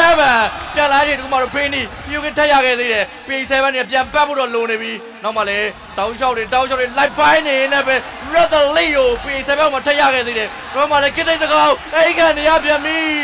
Rather Leo ဒါပေမဲ့ KD မှာသိမ်းပိုက်လိုက်ပြီဗျာဒီနေရာမှာတော့ကဖူးပြန်ပြီးတော့ကြာသွားလေတော်တော်လေးတော့နှမျောဖို့ကောင်းတယ်ဆိုနေမယ်လဲ P7 ကိုတော့ပြန်လဲပြီးတော့ရယူသွားနိုင်တာပြီးတော့တွေ့ရတယ်ဗျာ Reason Leo ရဲ့ဒီ Kinjetsu ရဲ့ meditation ထိုင်နေတဲ့နေရာကိုဘယ်သူမှမသွားနိုင်ဘူးအခုတွေ့ရတဲ့အတိုင်းပဲသူရဲ့တစ်ဖက်သင်းဒီ Falcon ဘက်က hero တွေအကုန်လုံးက mobility အားနေတာဖြစ်တဲ့အတွက်ကြောင့်မလို့ဘာလိုင်းဝင်ရနည်းနည်းလေးတော့ခက်ခဲနေတယ် Reason Leo တောက်လျှောက်တော့ fan နေပေမဲ့လဲ Brian Pick ကတော့ဒီတစ်ခေါက်မှာ Tateo ပါလာပြီးတော့ join တဲ့နောက်မှာတော့ဒီတစ်ခါ Tateo လည်းဆက်လက်ပြီးတော့ Falcon Esport ကပဲရယူထားနိုင်ပါသေးတယ်ဟုတ်တယ်ကျွန်တော်ပွဲချင်း၄မိနစ်ပြန်ကြည့်ရမယ်ဆိုရင်တော့ Zeno Esport အနေနဲ့သူတို့ Hero Key နှစ်ကောင်၃ကောင်ထိရထားတယ်အဲ့၃ကောင်မှာ Resident Leo နှစ်ကောင်ရထားတာဒီသူတို့ရဲ့အားသာချက်ပဲ Falcon Esport အနေနဲ့တာတယ်နှစ်ခုရတာသူတို့ရဲ့အားသာချက်အပေါ်လမ်းမှာတော့တောင်းလျှောက် sideline နဲ့ PH7 အင်ကန်နေရပြီဗျလုံးပြနေတော့မယ် PH7 အော်မရတော့ဘူးကဖူးရဲ့ရိုက်ချက်ကြားမှာတော့သိဆုံးခဲ့ရပြီ Ryan Mick ဝင်လာတဲ့အချိန်ဒီမှာကဖူးမရတော့ဘူးဗျ Ryan Mick လက်ထဲမှာပြန်လဲပိတ်ဆက်လိုက်ရပါတယ်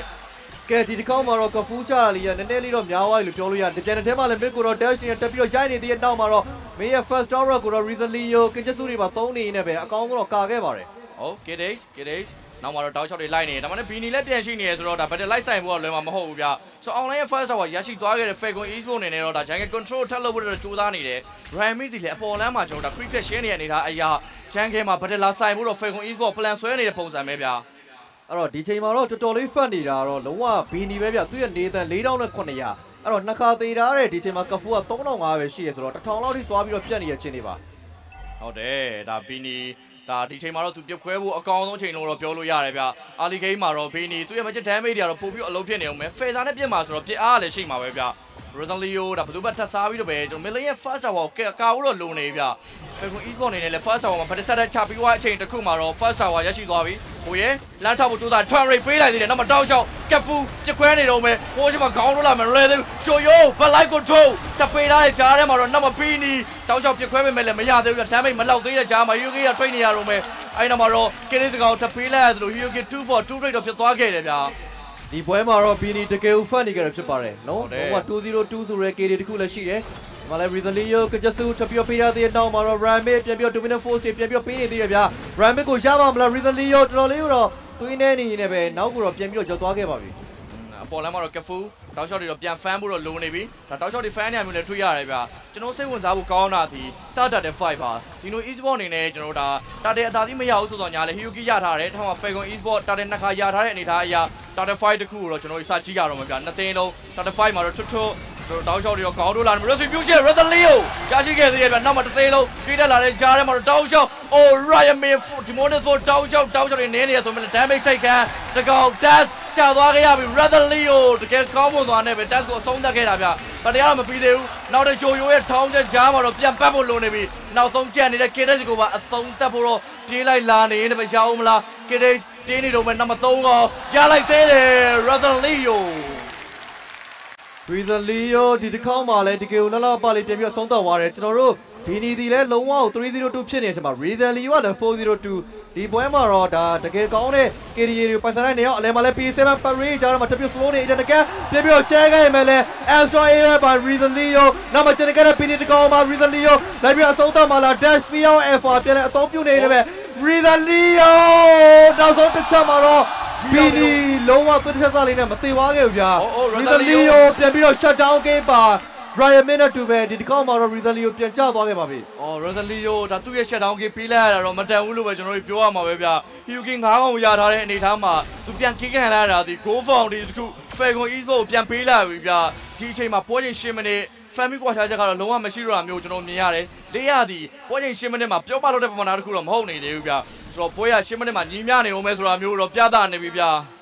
ကဲဆိုတော့ဒီတစ်ခေါက်မှာဆိုလို့ရှိရင်လည်းကဖူးအတွက်တော့ farming speed တော့သူတို့ပြန်ပြီးတော့ပေးဖို့တော့လိုတယ်အဲတစ်ဖက်မှာ video ကြားဖို့အတွက်တော်လေးနီးခဲ့တဲ့ reason လေးကိုသူကိုယ်တိုင်ပဲ shutdown game ကိုပြန်ပြီးတော့ခွင့်ပြုပေးလိုက်ရတဲ့ချိန်မှာတော့နည်းနည်းလေးသူရဲ့ဒီ buff တွေဘာတွေစားရတာလည်းပြဿနာတော့စပြီးတော့ရှိလာပြီဗျာဒီ red buff တွေဘာတွေသွားပြီးတော့ထိဖို့ကတော့အရင်ကြီးတော့မလွယ် reason လေးကိုသူ blue buff ကတော့သူငုံလို့တော့ရရဲဆိုတော့စားခွင့်တော့ရဖို့များပါတယ်อืมအဓိကတော့ Falcon Esports အနေနဲ့ Rosalio ရဲ့ shutdown ဝင်ရလာတဲ့အမြောက် Go Foundry changes နဲ့အတူပဲ Map Control ပြန်ယူလာမျိုးတွေ့ရတယ်ထွတ်ထွတ် ပါဝေးခင်းခေါင်းထိုးလာအဲ့တော့ Rosalio Shadow Fall နောက် Light Control ပင်နေစီပြေးဝင်မဲ့လက် dash backup ပေးထားတော့မယ် Rosalio ပြန်ပတ်တဲ့အနေထားတစ်ခုမှာတော့ 4vs ထောင်းရှော့တွေကိုလိုက်နေနေပြီရှိုယိုသွင်းနေတယ် Fury ပြန်ထောင်းထားပေမဲ့လည်းမရသေးဘူး Ryan မာနေတော့မယ်ဗျအဲ့ဒီမှာ Internet ကပြန်ချပြီ Hyuki ယူဖို့ကြိုးစားပေမဲ့လည်းမလွယ်သေးဘူးဗျပိုးရှိမှာ Ryan damage တိတ်ကအကုန်လုံးခံထားတာ Findi စပြီပြခွဲပြီဗျတောင်းချောင်းတွေပြန်ပြက်နေတယ်မှာ Ryan Mid မသေးသေးပြန်ဘူးဗျတောင်းချောင်းတွေထပ်ပြီးတော့မာနေတော့မယ် Findi ပြခွဲဖို့ကြိုးစားနေတယ် Hyuki တက်ကောင်တော့ရရှိခဲ့ပါတယ်ကဲဆိုတော့ဒီတစ်ခေါက်မှာဆိုလို့ရှိရင်လည်း Hero K ကတော့တောက်လျှောက်တော့အများကြီးတော့ပေါ်လာမဟုတ်ဆိုပေမဲ့လည်းကဖူးပြန်ပြီးတော့ကြောက်သွားတာ၄ကတော့ရှိနေပြီဘီနီနေတဲ့လည်းပွဲကြီး6မိနစ်မှာပဲ Holy Crystal မှာထပ်ပြီးတော့ပြီးလာတယ်ဆိုတော့ဘီနီရဲ့ damage ကအရန်ကိုများနေပြ ဒီအချိန်မှာတော့ဒီ high low နဲ့ Kufra ရဲ့ initiative ကိုဒါ Reason Leo စောက်တဲ့အခြေအနေမှာပြောရင်းနဲ့ position damage တွေကြားမှာနောက်မှာထပ်ပြီးတော့ပဲ Kijutsu ပြန်ပြီးတော့ဝင်လာတဲ့နောက်မှာ Reason Leo ဒီလောက်ရောက်တော့တော်တော်လေးတော့နီးကက်ကက်ကို position တည်ထားပေမဲ့လည်းဒီဒီက lock ကိုတော့ဘလို့မှတော့ Zeno သွားပြီးတော့မလူနိုင်တော့ဘူးဗျ။အိုး Ryan Mid ခေါင်းတိုးနေတော့မယ်။နောက်မှလည်း Falcon Esports ပြန်လာကြည့်ရနေတဲ့တစ်ခုမှာ Zeno နေနဲ့တော့ man shot ပြီးနောက်ကိုပဲပြန်ပတ်ခဲ့လိုက်ရတယ်ဗျာအဓိကတော့သူ့ရဲ့ဒီ congestion 3လာလေးနည်းနည်းလေးစောသွားတာလေးပါတယ် အဲ့တော့ AoE တွေများနေတာ mana ဆိုနေမဲ့လေ follower damage မှာကဖူးဒီပွဲမှာနည်းနည်းလေးတော့ item ပိုင်းဆိုင်ရာနောက်ကျနေရယ်သူ၄ကလောက်ဒီပေါက်တာအတွက်ကြောင့်မလို့တစ်ဖက်မှာရှိနေခဲ့တဲ့ Bini ရဲ့403ဆိုတဲ့ KD နဲ့ရှင်မှာဆိုရင်သူကနည်းနည်းလေးတော့နှိမ့်နေခဲ့တယ်ဗျအဲ့တော့ဒါတောက်လျှောက်ကိုပဲ Bruno item ထွက်လာမှသာလျင်စီနိုအနေနဲ့ဗတဲ့အသာစီးရဖို့အခွင့်အလမ်းရှိပါလိမ့်မယ်တစ်ဖက်မှာဘီနီကလုံးဝ front line ထိပါခေါင်းတိုးပြီးတော့ live ပြစ်နေတဲ့အချိန်မှာကဖူးအနေနဲ့ကနည်းနည်းလေးဒီဟာတစ်ဖက်ကနေပြီးတော့ဒီ dominant force တွေကြားထဲမှာ position တရရတာတော်လေးတိုင်ပတ်နေကြတွေ့ရပြန်နော်ဟုတ်တယ်နော်ဒါ position တရရတာတော်လေးတိုင်ပတ်နေရမျိုးမြင်ရတယ်ပြန်ပြန်ပြုတ်ပြကြမယ်ဆိုလို့ရှိရင်လည်း Ryan May ရဲ့ phobia ဗျာသူ့ရဲ့ damage တိတ်ကန်လုံးဝတော်တော်လေးကြောက်ဖို့ကောင်းနေတာမျိုးမြင်ရတယ်ဗျာတစ်ဖက်ကဘလို့ပဲ damage ပေးပေး Ryan May ကိုဖျက်ဖို့ကဘလို့မှကိုမလုံလောက်နေတာ Millie ရဲ့ second tower တိုင်ကိုလည်းထပ်မံပြူလာသေးရဲ့ဗျာ Rosalio meditation အရင်အလုပ်ဖြစ်တာမျိုးတော့ကျွန်တော်မမြင်ရတော့ဘူး တစ်ဖက်က Falcon Esports damage တွေအရင်များနေတဲ့အတူပဲ law နဲ့အတူ Mega Tyrant တွေကိုစပြီးတော့တကားခောက်ပြီဗျာ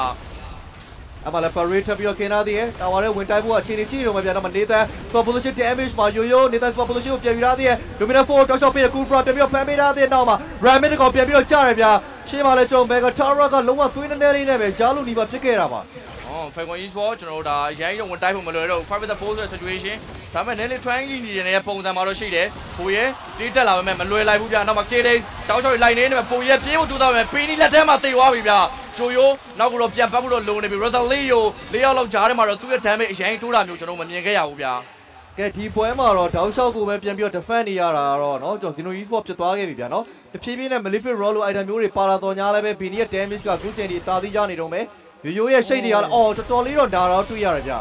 အော်ဂျိုရှိုးသူ့ရဲ့ရှိတ်တွေတော်လေးနာလာမျိုးတွေတွေ့ရတယ်ဒီဘက်မှာလည်း Rosalio P7 တောက်လျှောက်ကပ်ပေမဲ့လည်းမရသေးဘူးဗျ Rosalio လိုက်ချောင်းနေတော့မ dash ပြန်ပြီး backup ပေးထားရဲဆိုတော့လေကျွန်တော်တို့ဒါဘလုံးမတတ်ဖို့မလွယ်လိုက်တော့ဘူးဗျာ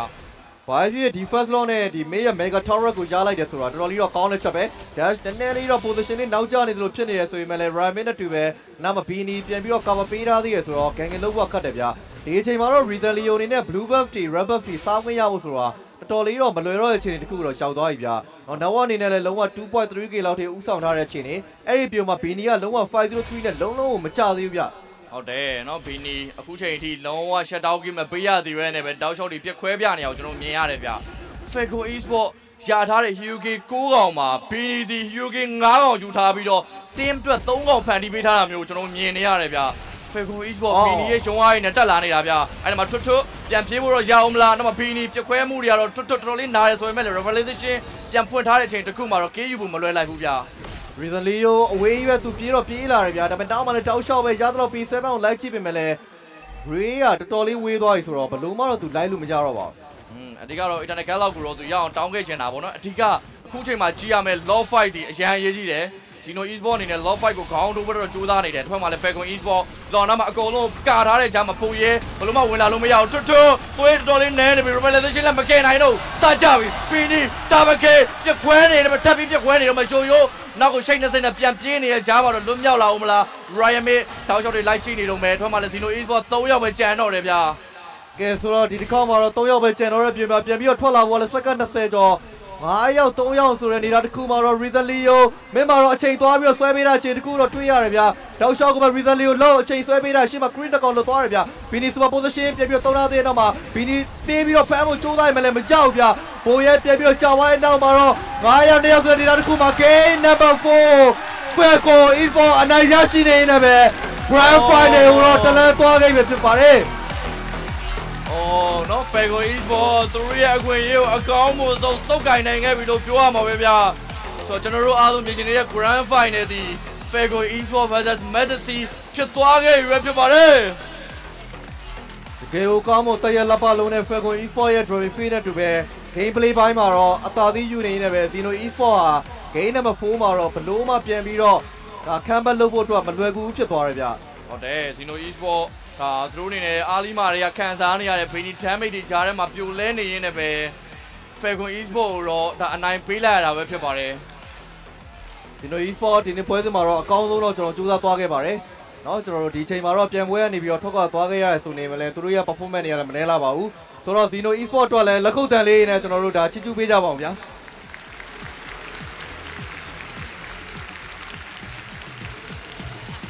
ကဲအကောင်းမွန်ဆုံးလုံးကွက်တွေနဲ့အတူပဲလုံရနဲ့တက်သေးပြသွားတဲ့ Fago Esport အတွက်ခုံပြူလက်ခုပ်တန်လေးကြားလို့ရမလားဗျ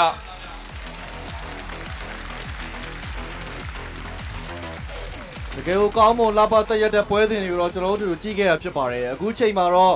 ဒီနှစ်သင်းရဲ့ကနေပြီးတော့တစ်သင်းကတေချာပေါက် Grand Final ကိုသွားခဲ့ရမယ်လို့လည်းကျွန်တော်ပြောခဲ့တယ်ပေါ့နော်ဆိုတော့ဒီချိန်မှာ Falcon အနေနဲ့ကတော့ကျွန်တော်တို့ဒါ Grand Final ကိုတော့တလန်းသွားခဲ့ပြီအဲ့အတွက်ကြောင့်မလို့ဒီတစ်ခေါက် Grand Final မှာတော့ Matsi နဲ့တူပဲ နော်တောက်လျှောက်ကိုပြန်ပြီးတော့ရင်ဆိုင်ရတော့မှာဗျဟုတ်တယ် Fago vs Majesty တို့ရဲ့ Grand Final ကိုကျွန်တော်တို့မြင်ရတော့မှာပဲဖြစ်ပါတယ်